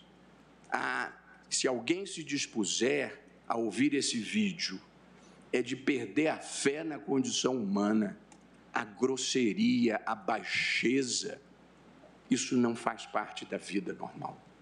Não pode nem deve fazer parte da vida normal. Nós não podemos naturalizar a barbárie. Por essas razões, eh, presidente, eu estou acompanhando inteiramente o ministro Alexandre de Moraes e penso que houve integralmente devido processo legal, direito de defesa, advogado na tribuna com uma sustentação proficiente e, portanto, é preciso descaracterizar essa afirmação e a construção de uma narrativa de que se esteja perseguindo alguém por crime de opinião. Nós estamos perseguindo pessoas por ameaças atentados à democracia, incitação à violência contra as pessoas e animosidade entre o poder civil e o poder militar, o que é lamentável, porque uma das coisas boas que nós conquistamos nesses 33 anos de Constituição de 88 foram as Forças Armadas rigorosamente atuando dentro da Constituição de maneira exemplar até aqui e para todo o sempre, e, portanto, tentar criar esse tipo de contrariedade, esse tipo de animosidade é insustentável dentro de um quadro legítimo de democracia. Portanto, presidente, eu estou acompanhando o ministro Alexandre de Moraes nas condenações, na absolvição e na dosimetria. Muito obrigado. Muito obrigado, ministro Gilberto Barroso. Compreensível a sua natural indignação. Como vota Vossa Excelência, nossa vice-presidente, ministra Rosa Weber?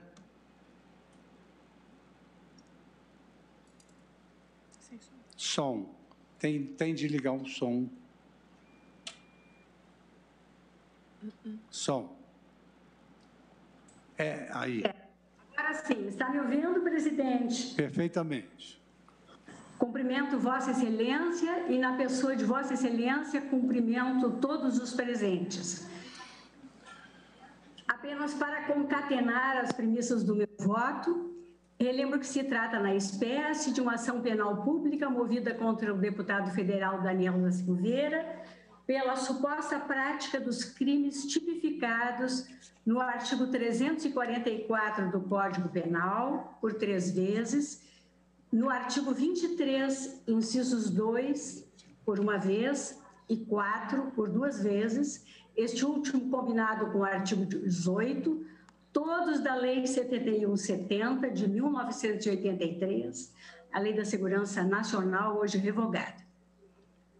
Como expõe a denúncia, o réu teria publicado em plataformas na rede mundial de computadores diferentes vídeos e nessas ocasiões teria praticado os crimes pelos quais denunciado. Eu sublinho, senhor presidente, que ouvi com atenção as substanciosas sustentações orais da vice-procuradora-geral da República, doutora Lindora Araújo, e da defesa, pelo ilustre advogado que ocupou a tribuna.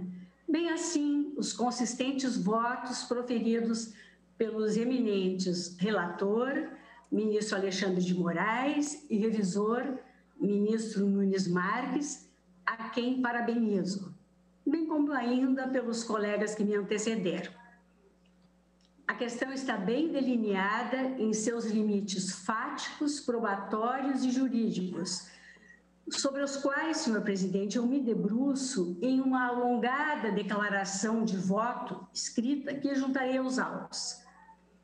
Limito-me aqui, evitando incorrer em contraproducente tautologia, a acompanhar o eminente relator, pedindo vênia ao ministro Cássio, que votou pela absolvição, e ao ministro André, que também eh, apresentam uma divergência parcial. Mas eu me permito, senhor presidente, assinalar, como o fez há pouco o ministro Luiz Roberto, que em absoluto há que falar em perseguição por delito de opinião. Quando o agente ataca, como no caso ocorreu, a própria existência desta Suprema Corte enquanto instituição, não há dúvidas que ele se expõe com o efeito imediato dos mecanismos de autodefesa da democracia à censura penal do Estado. Não está em jogo aqui, em absoluto, a simples proteção dos juízes desta casa, enquanto integrantes transitórios da Corte, mas sim a defesa do próprio Estado democrático de direito, cuja existência é posta em risco quando se busca, mediante o uso da palavra, minar a independência do Poder Judiciário e, mais do que isso, a própria existência de instituição constitucionalmente concebida como último refúgio de tutela das liberdades públicas. Pertinente neste ponto destacar a reflexão emanada do Tribunal Constitucional Federal Alemão em acórdão datado de outubro de 1995, que eu me permito relembrar. Aspas, sem um mínimo de aceitação por parte da sociedade, os órgãos estatais não podem cumprir suas tarefas. Por isso, devem ser, em princípio, protegidos contra ataques verbais que ameacem minar esses pressupostos. Fecho aspas. Afigura-se legítima e necessária, portanto, a tutela do Estado de Direito mediante o emprego do direito penal contra atos comunicativos, enquanto legítima expressão daquilo que se convencionou chamar no direito alienígena de democracia combativa, ou seja, uma democracia dotada de instrumentos de autodefesa contra aqueles que se valem dos mecanismos constitucionais e democráticos para destruir de dentro a Constituição e a democracia. E aqui eu estou citando a Laor Leite em obra que, uh, que registro. Nessa linha, senhor presidente, eu rejeito as preliminares e julgo parcialmente procedente a pretensão acusatória para condenar o réu Daniel Lúcio da Silveira como incurso nas penas do artigo 18 da Lei 71.7083 por duas vezes, na forma do artigo 71 caput do Código Penal, em virtude da ultratividade da Lei Penal Benéfica, e ainda do artigo 344 do Código Penal, por três vezes em regime de continuidade delitiva, Código Penal, artigo 71, caput, absolvendo, no entanto, nos termos do artigo 386, inciso 3 do CPP, da acusação pelo crime do artigo 286, parágrafo único do Código Penal. Manifesto, por fim, senhor presidente, minha integral concordância com a dosimetria proposta pelo eminente relator, a quem, mais uma vez, parabenizo. É o voto, senhor presidente. Muito obrigado, ministra Rosa Weber, pelo seu poder de síntese. Agora acolho o voto de Sua Excelência, o ministro Dias Toffoli. Boa noite, senhor presidente. Cumprimento a Vossa Excelência, senhoras ministras, senhores ministros, a senhora Procuradora-Geral da República em exercício, a Vice-Procuradora-Geral, doutora Lindora, advogado que se manifestou da tribuna em defesa do aqui réu. Cumprimento a todos os presentes, servidores, imprensa, todos que nos acompanham. Senhor presidente, eu já vou caminhando para 13 anos de integrante desse Supremo Tribunal Federal. E digo, independentemente do caso específico aqui em julgamento, ou do réu aqui que está denunciado e que ora estamos a julgá-lo. E este eu reputo o julgamento mais importante que eu já participei nesse Supremo Tribunal Federal. Por tudo aquilo que está por detrás do que verbalizava o aqui acusado, ora em julgamento.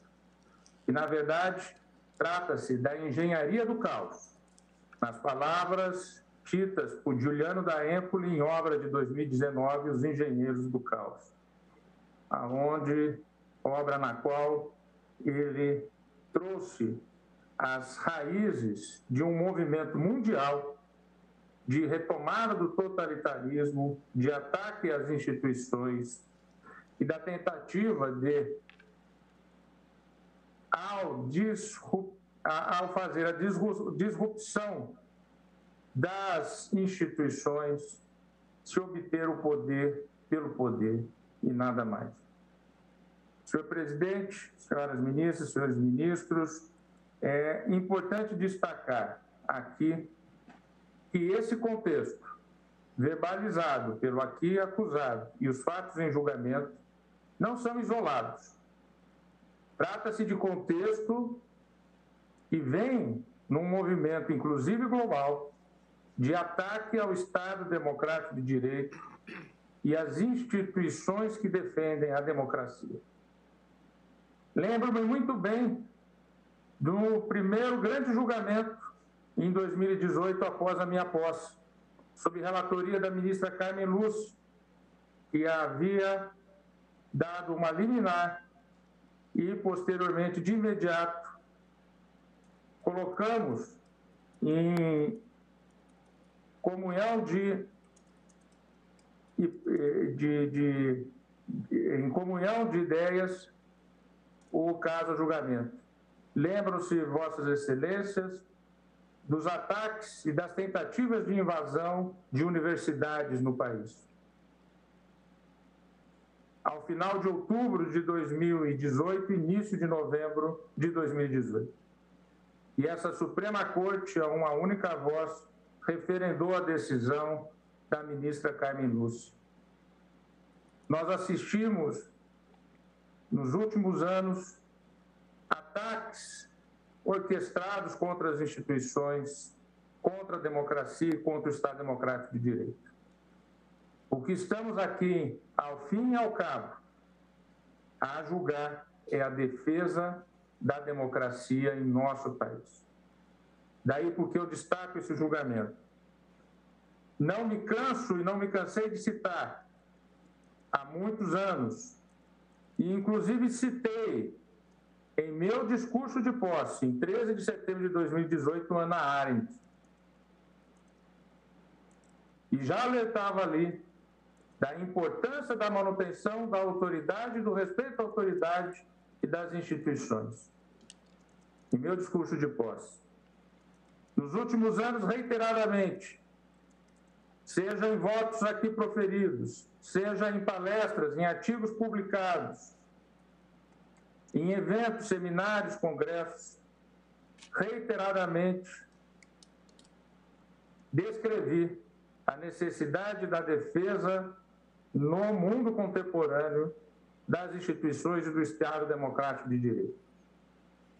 Inclusive, tomando decisões muitas vezes incompreendidas inicialmente, mas que depois se mostraram extremamente necessárias. Senhor presidente, já disse muito nesses últimos anos. Não vou aqui repetir o que, inclusive, recentemente proferi um voto longo em que retratei esse momento que vivemos contemporaneamente, relembrando o livro é, Passado e Futuro, Entre o Passado e Futuro, de Ana Arendt, cuja publicação esse ano completa 50 anos, e que teve um prefácio fenomenal há 50 anos atrás, do emérito professor da USP, meu professor Celso Lá. Senhor presidente, senhoras ministras, senhores ministros, o que estamos aqui a decidir é a defesa do Estado Democrático de Direito e das instituições. Não é a defesa de um ministro ou do conjunto dos ministros. Não é a defesa só do Poder Judiciário. É a defesa, inclusive, do próprio Congresso Nacional e da democracia brasileira. E aqui é importante destacar, inicialmente eu destaco, a atuação do eminente relator, ministro Alexandre Moraes, que foi, e sabemos nós, tão atacado e submetido ele e os seus à necessidade, inclusive, de maior segurança. A atuação do eminente ministro Alexandre de Moraes para e apesar de todos esses ataques, esses vilipêndios que atingiu pessoalmente, jamais deixou de atuar com imparcialidade e jamais deixou de honrar a toga e a cadeira de ministro do Supremo Tribunal Federal. E atuou com toda a paciência e parcimônia, afora o seu conhecimento jurídico e a sua competência. É necessário que se registre que entre as grandes virtudes de um homem e de alguém e de uma mulher e de alguém que venha a compor esta corte é ter coragem. É ter coragem.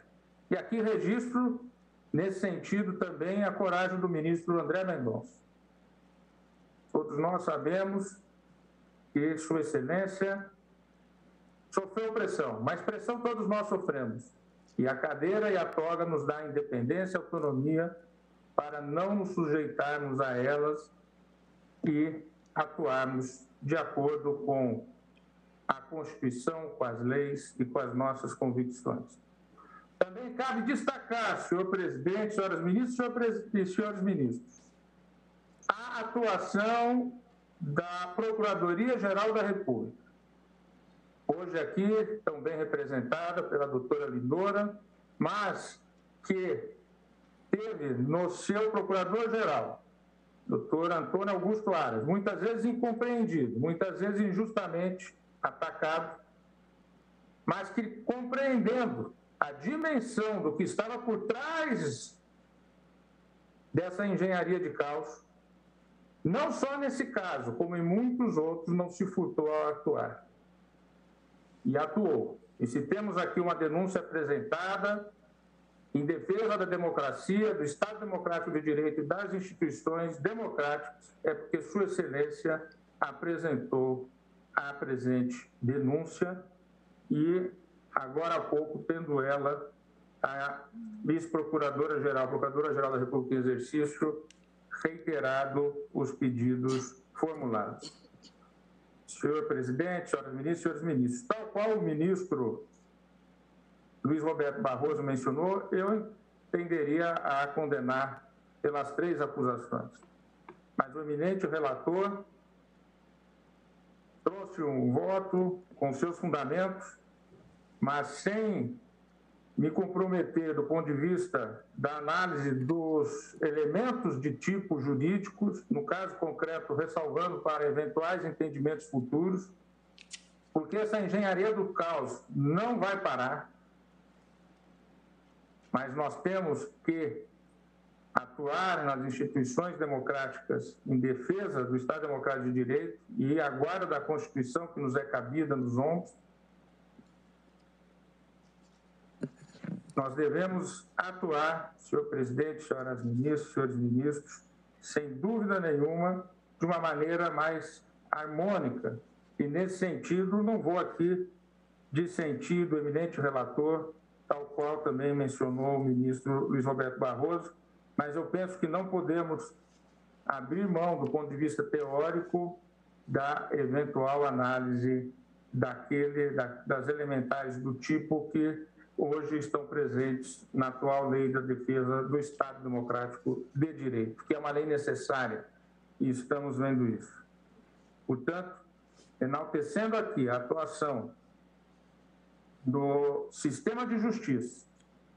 O sistema de justiça não é só o Poder Judiciário, é o Ministério Público, a advocacia privada, a advocacia pública, a defensoria pública, e aqui atuaram todos a advocacia privada na defesa do paciente, do, do acusado, o Ministério Público, enaltecendo a atuação do Procurador-Geral da República, a atuação do eminente relator, pedindo vênia ao bem fundamentado voto e a compreensão do eminente ministro revisor, ministro Cássio Nunes, e divergindo em parte do ministro André Mendonça, senhor presidente, não farei juntada de votos, mas era necessário relembrar que aqui está um julgamento que é muito para além de um julgamento de um indivíduo ou de um parlamentar.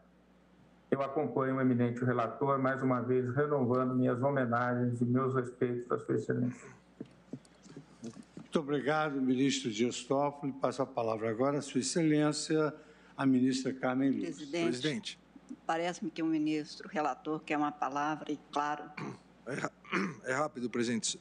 Quero só agradecer as palavras do ministro, eminente ministro Dias Toffoli, agradecer aqui de, de coração pelas palavras e dizer que, é, apesar da absolvição no artigo 23, inciso 2 é, entendo que é, houve é, a continuidade como, é, como tipo penal do 200, 286, parágrafo único, e é essencial é, para a democracia que continue existindo esse tipo penal. Mas a, a, o- a parte foi mais para agradecer as palavras do ministro Toffoli. Pois não. Ministra Carmen Lúcia, devolvo a Vossa Excelência a palavra. obrigada, presidente, cumprimento Vossa Excelência, cumprimento os, a ministra vice-presidente, Rosa Weber, os senhores ministros, com um cumprimento muito especial ao ministro relator, ministro Alexandre de Moraes, eh, com, toda, com todo o acerto de todos nós, um ministro que não apenas honra este caso, mas honra todos os casos, especialmente porque ne- neste, nesta passagem histórica tão tumultuada, de tantas dificuldades, mais que nunca, o ministro Dias Toffoli acaba de dizer, mas eu também relembro que, como na palavra de Guimarães Rosa, a vida é assim, afrouxa, aperta, esquenta, esfria, mas o que ela pede da gente sempre é coragem.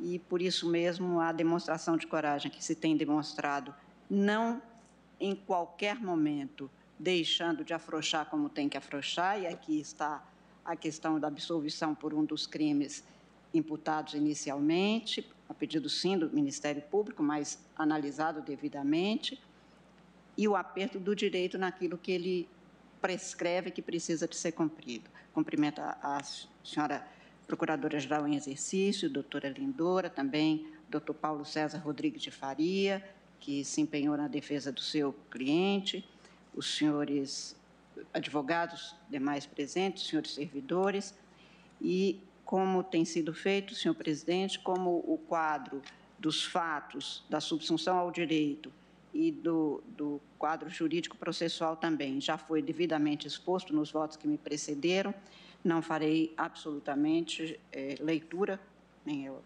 que faço em geral, quando sou vogal, mas apenas gostaria de enfatizar rapidissimamente. Primeiro, como também aqui foi posto, este é um julgamento que tem o autor de determinadas práticas, consideradas pelo Ministério Público e agora nos, nos votos que me antecederam, ressalva feita ao do ministro Nunes Marques, considerados enquadrados, subsumidos ao- aos tipos penais descritos, ou seja, que caracterizam crimes. Para além de, destes fatos e das práticas, há algo muito maior do que isto, que é a vigência de um Estado democrático de direito. E aqui, como foi também enfatizado, presidente, antes da análise até do, do direito penal e do, dos casos especificados nas diferentes normas, o que se tem, que o ministro Alexandre, desde o primeiro momento, expôs, foi incitação contra instituições que garantem a democracia, incitando-se o fechamento do Congresso Nacional, de que, como disse o ministro Alexandre, desde eh, despachos anteriores e decisões anteriores neste mesmo processo, é integrado pelo próprio réu, o que significa que nós temos, neste caso, que em medicina se chama a entropia negativa. Destrói-se de dentro para fora. Quer dizer, a democracia sendo destruída pelas instituições e por integrantes dessas instituições. E, e num objetivo muito maior, e o Supremo Tribunal Federal. Aqui eu vou pedir todas as vênias já de pronto ao ministro André, que dissente em parte do voto do relator, ao afirmar ele que no que se refere a, a, especificamente a esta parte, que ele não acompanhava. E com todo respeito, evidentemente, às divergências, que o colegiado é para isso, para que se tenham posições diferentes, mas se precisasse de chegar até a destruição da instituição para que então se tivesse o que o ministro Alexandre desde o início tem exposto, ou seja, não é apenas incitar, mas é chegar às últimas consequências. Se tivesse chegado, esse julgamento não estaria acontecendo, pois era contra o Supremo que está fazendo o julgamento.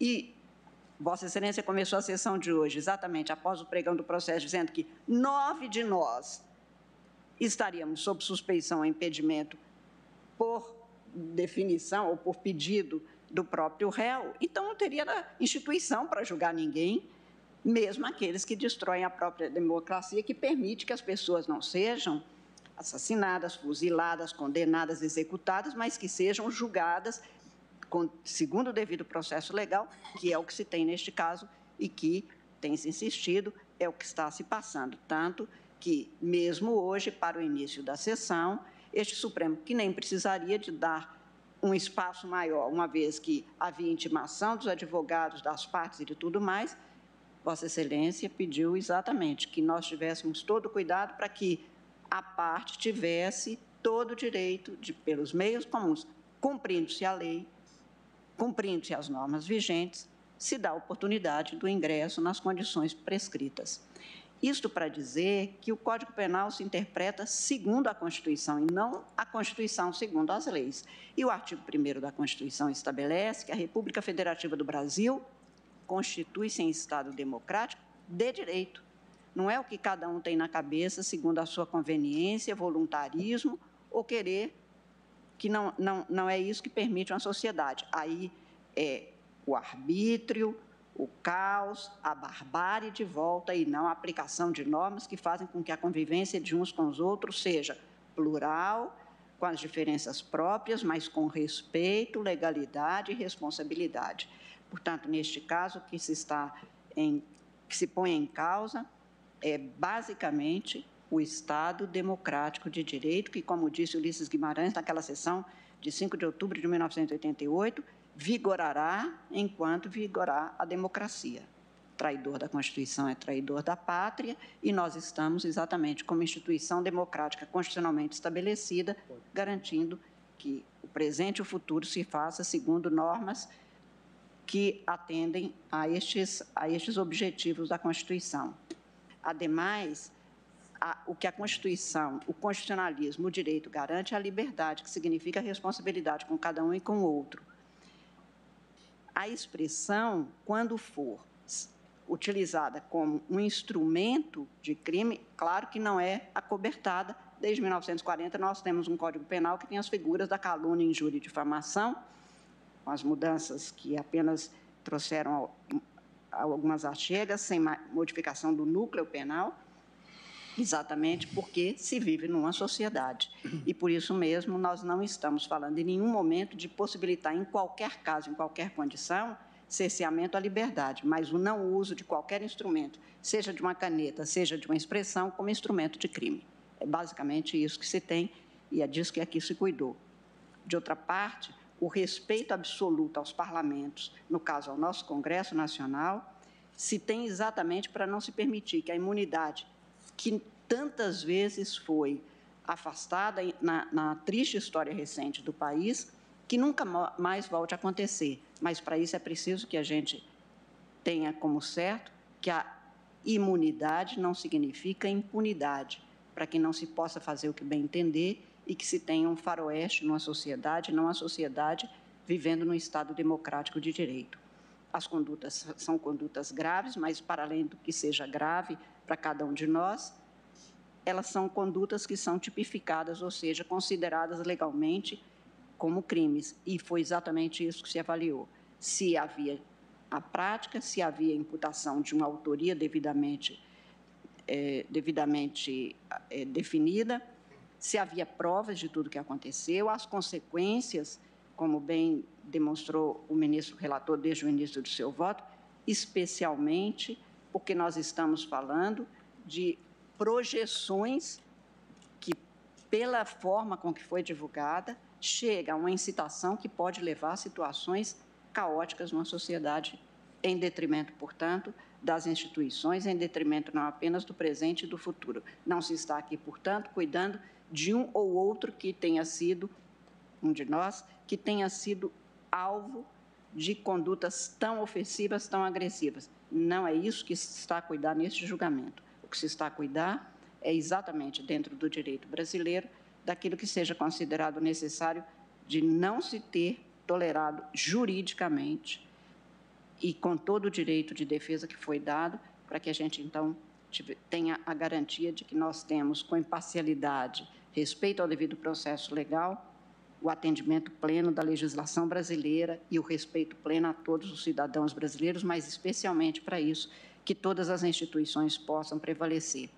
Eu, no meu voto, estou, senhor presidente, acompanhando integralmente o voto do ministro relator, do ministro Alexandre de Moraes, com todas as vênias da, do, da divergência aberta pelo ministro Nunes Marques, de uma parcial divergência do ministro André Mendonça, mais uma vez cumprimentando o ministro Alexandre de Moraes por este trabalho que foi um trabalho, basta ver a extensão do voto, extremamente é, difícil, mais profundo, assertivo, com todas as garantias que foram asseguradas incluída aí a questão da dosimetria, que coincide rigorosamente com que é a conclusão a que eu também chego e por isso estou acompanhando integralmente, como diz, com as vênias da divergência. Muito obrigada, presidente. Agora passa a palavra a Sua Excelência, o ministro Ricardo Lewandowski, para o seu pronunciamento, seu voto.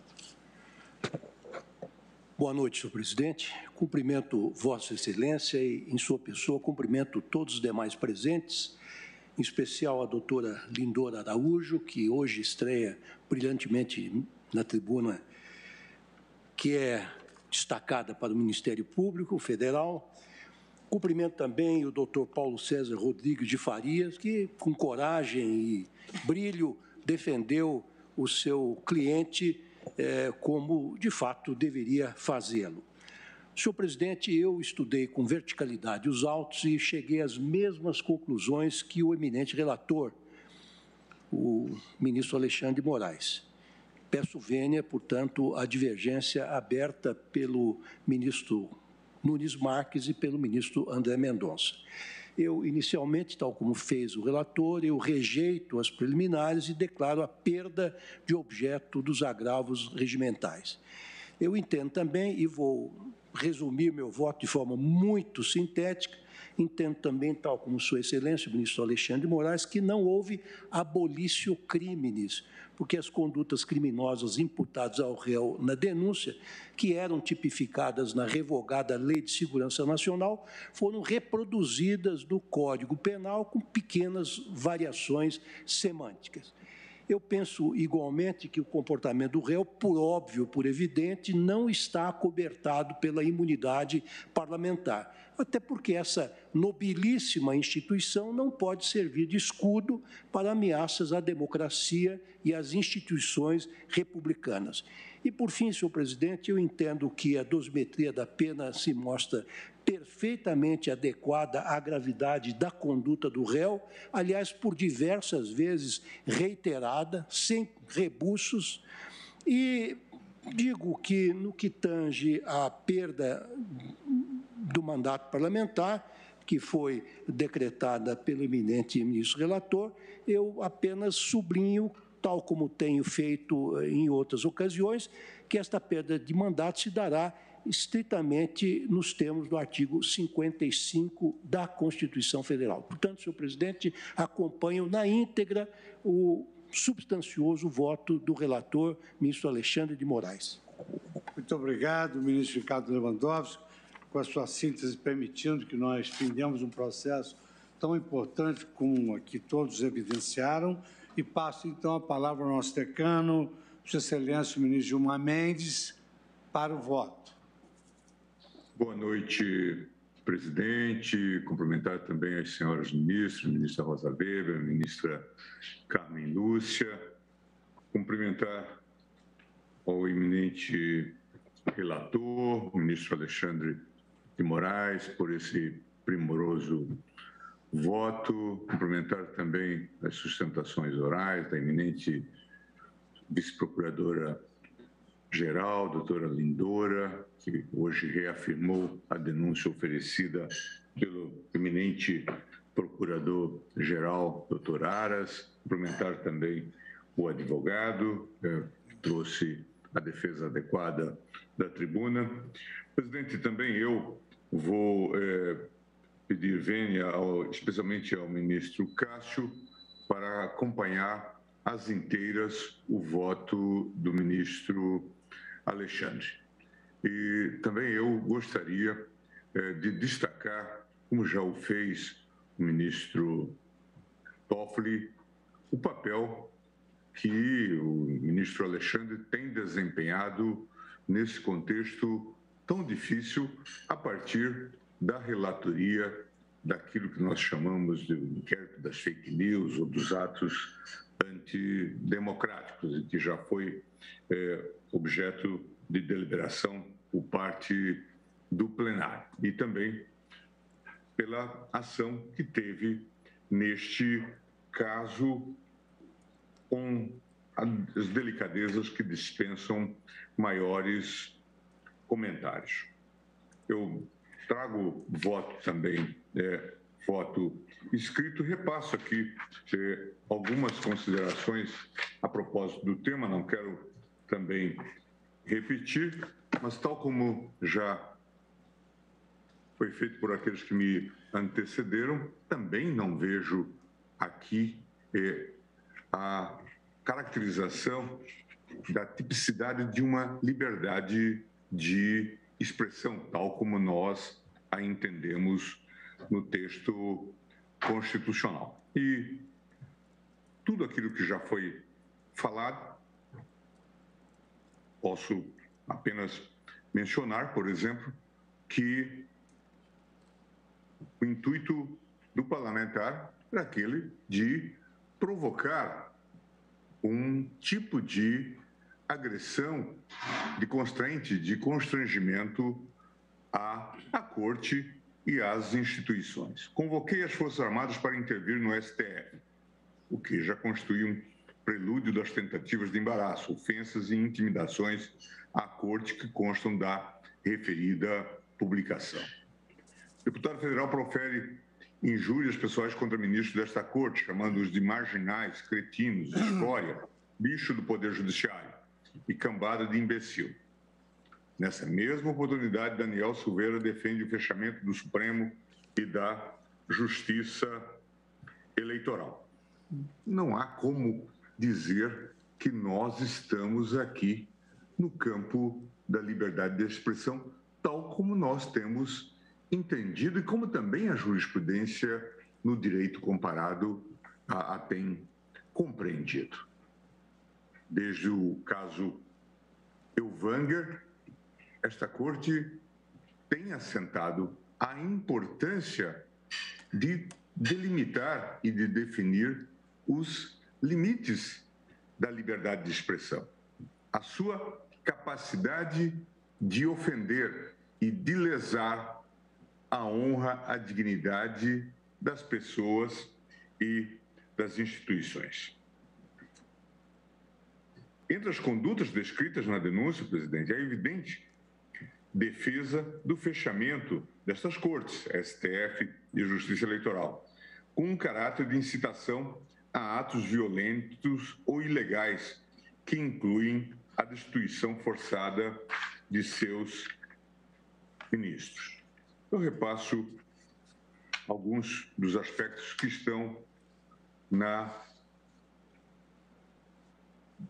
denúncia. Me prendam, que tem os relatórios vindo aí para vocês sobre a fraude nas urnas, etc.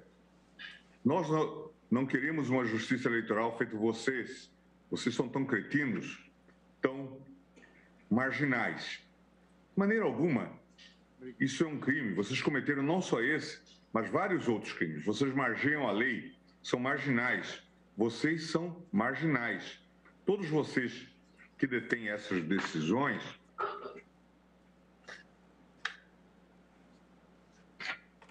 vocês protegem esses bandidos, vocês são a escória do Poder Judiciário, o lixo do Poder Judiciário. E aí, quando bater um cabo e um soldado na porta de vocês, não adianta fechar a porta, porque vai ser arrombada. Sim, sim, as Forças Armadas podem sim intervir. É o que nós queremos. Eu confesso que a maioria dos brasileiros pedem isso. Vocês tomam decisões sempre em prol da justiça, do crime. O STF não precisava existir, não precisava. Ele deveria ser extinto e criado uma nova Corte Constitucional. E assim por diante, presidente, são as considerações que são feitas pelo acusado sem que haja nenhuma conotação de defesa do mandato, da sua liberdade de expressão de sua liberdade de opinião. O momento agora é de reconhecer o terreno, depois entra o processo de depuração. Fiquem tranquilos, vocês não estão esquecidos. E nesse tom, prossegue fazendo uma série de considerações, loas a ditadura que caçou três ministros do Supremo, você lembra? Caçou senadores, deputados federais, estaduais. Foi uma depuração. Um recadinho muito claro: se fizerem, a gente volta. E a fraude nas urnas? Não, vai estar sempre aqui, na nossa cúpula. Sempre vamos dominar. E aí vem outras referências.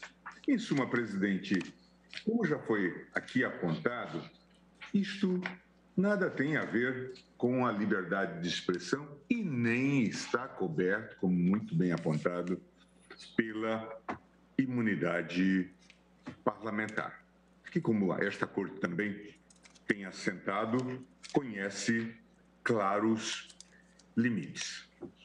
Eu também é, faço só o registro, já feito aqui pelo ministro Barroso e agora pelo ministro Dias Toffoli, e, em princípio, é, me habilitava a condenar pelos três fundamentos imputados inicialmente pela Procuradoria, pelos três imputações. Todavia, também, diante da ponderação feita pela Procuradoria e pelo relator, que a acolheu, eu deixo de insistir nesse ponto, deixando é, o tema em aberto para uma nova eventual reflexão. Mas eu gostaria, presidente, então, de, nessa breve alocução, nessa breve síntese, é, cumprimentar o, o voto do eminente relator, se houve, como nós vimos, com todo o esmero, já na condução do inquérito, já na instrução deste processo. Justiça se faça também, e isto já foi bem apontado pelo ministro Dias Toffoli, ao trabalho cuidadoso da Procuradoria, que pediu a instauração desse inquérito, que cobrou uma reação a esses fatos tão deploráveis e com consequências são extremamente graves no tecido social e no Estado de Direito democrático. Nesse sentido, justiça se faça ao trabalho inicial do procurador Aras. Gostaria, portanto, presidente, de cumprimentar o eminente relator e concluir no sentido de acompanhá-lo, inclusive no que concerne também à dosimetria. Muito obrigado. Muito obrigado, ministro Gilmar Mendes. Sobeja para mim, na qualidade de presidente, dizer muito pouco, pelo tanto que já foi exposto aqui pelos eminentes pares. Eu gostaria também de cumprimentar preliminarmente Sua Excelência, o ministro Alexandre Moraes. Eu tive o prazer de ler as 100 laudas do seu voto, em que me evidencia a caracterização de cada tipo e que, no meu modo de ver, acertadamente também é, concluiu pela absolvição do tipo a que se referiu. Por outro lado, também gostaria de cumprimentar o trabalho da eminente Procuradoria-Geral da República, e aqui eu destaco algo muito importante que se vem veiculando, que talvez esse processo gravitasse tão somente sobre a imunidade parlamentar. E há um trecho aqui da Procuradoria da República é intocável, onde se afirma que o denunciado ele não busca proteger a prerrogativa, e sim usar a prerrogativa, a imunidade, para se proteger dos delitos que praticou, na medida em que o direito à liberdade de expressão, na própria jurisprudência do Supremo Tribunal Federal, não é um direito absoluto. E isso nos leva a rememorar aquela velha frase, famosa frase do Justice Oliver Holmes, quando afirmou que seria é, protegido pela liberdade de expressão um cidadão gritar falsamente fogo dentro de um teatro lotado? Se isso caracterizaria uma liberdade de expressão? E lendo, evidentemente que não vou aqui repassar todo o voto, mas lendo sobre o tema, eu verifico que essas expressões utilizadas pelo denunciado acerca da, dos seus atentados às instituições democráticas e à democracia, hoje estariam caracterizados em qualquer país do mundo como uma liberdade de expressão que encerra uma verdadeira anarquia criminosa. De sorte que eu também, parabenizando o advogado, que fez um esforço hercúleo e sustentou durante uma hora de improviso aqui algo absolutamente indefensável, eu também queria me associar a todos os colegas, agradecer a metodologia utilizada que permitiu terminar esse, esse processo no dia de hoje, aderir integralmente ao voto do eminente ministro relator Alexandre de Moraes e, em consequência, proclamar o resultado, no sentido de que a ação penal foi julgada parcialmente procedente nos termos do voto do relator, vencidos com as nossas vênias. O ministro Nunes Marques, que julgava a ação improcedente, nos termos dos artigos 386, 1, 2 e 3, e parcialmente o ministro André Mendonça, que julgava parcialmente procedente nos termos do seu voto em menor extensão do que o ministro Alexandre de Moraes agradecendo a colaboração de todos os servidores que estiveram conosco até esse momento, a imprensa que está fazendo a cobertura, a ilustre representante da Procuradoria Geral da República e os nossos servidores, eu declaro encerrada a sessão.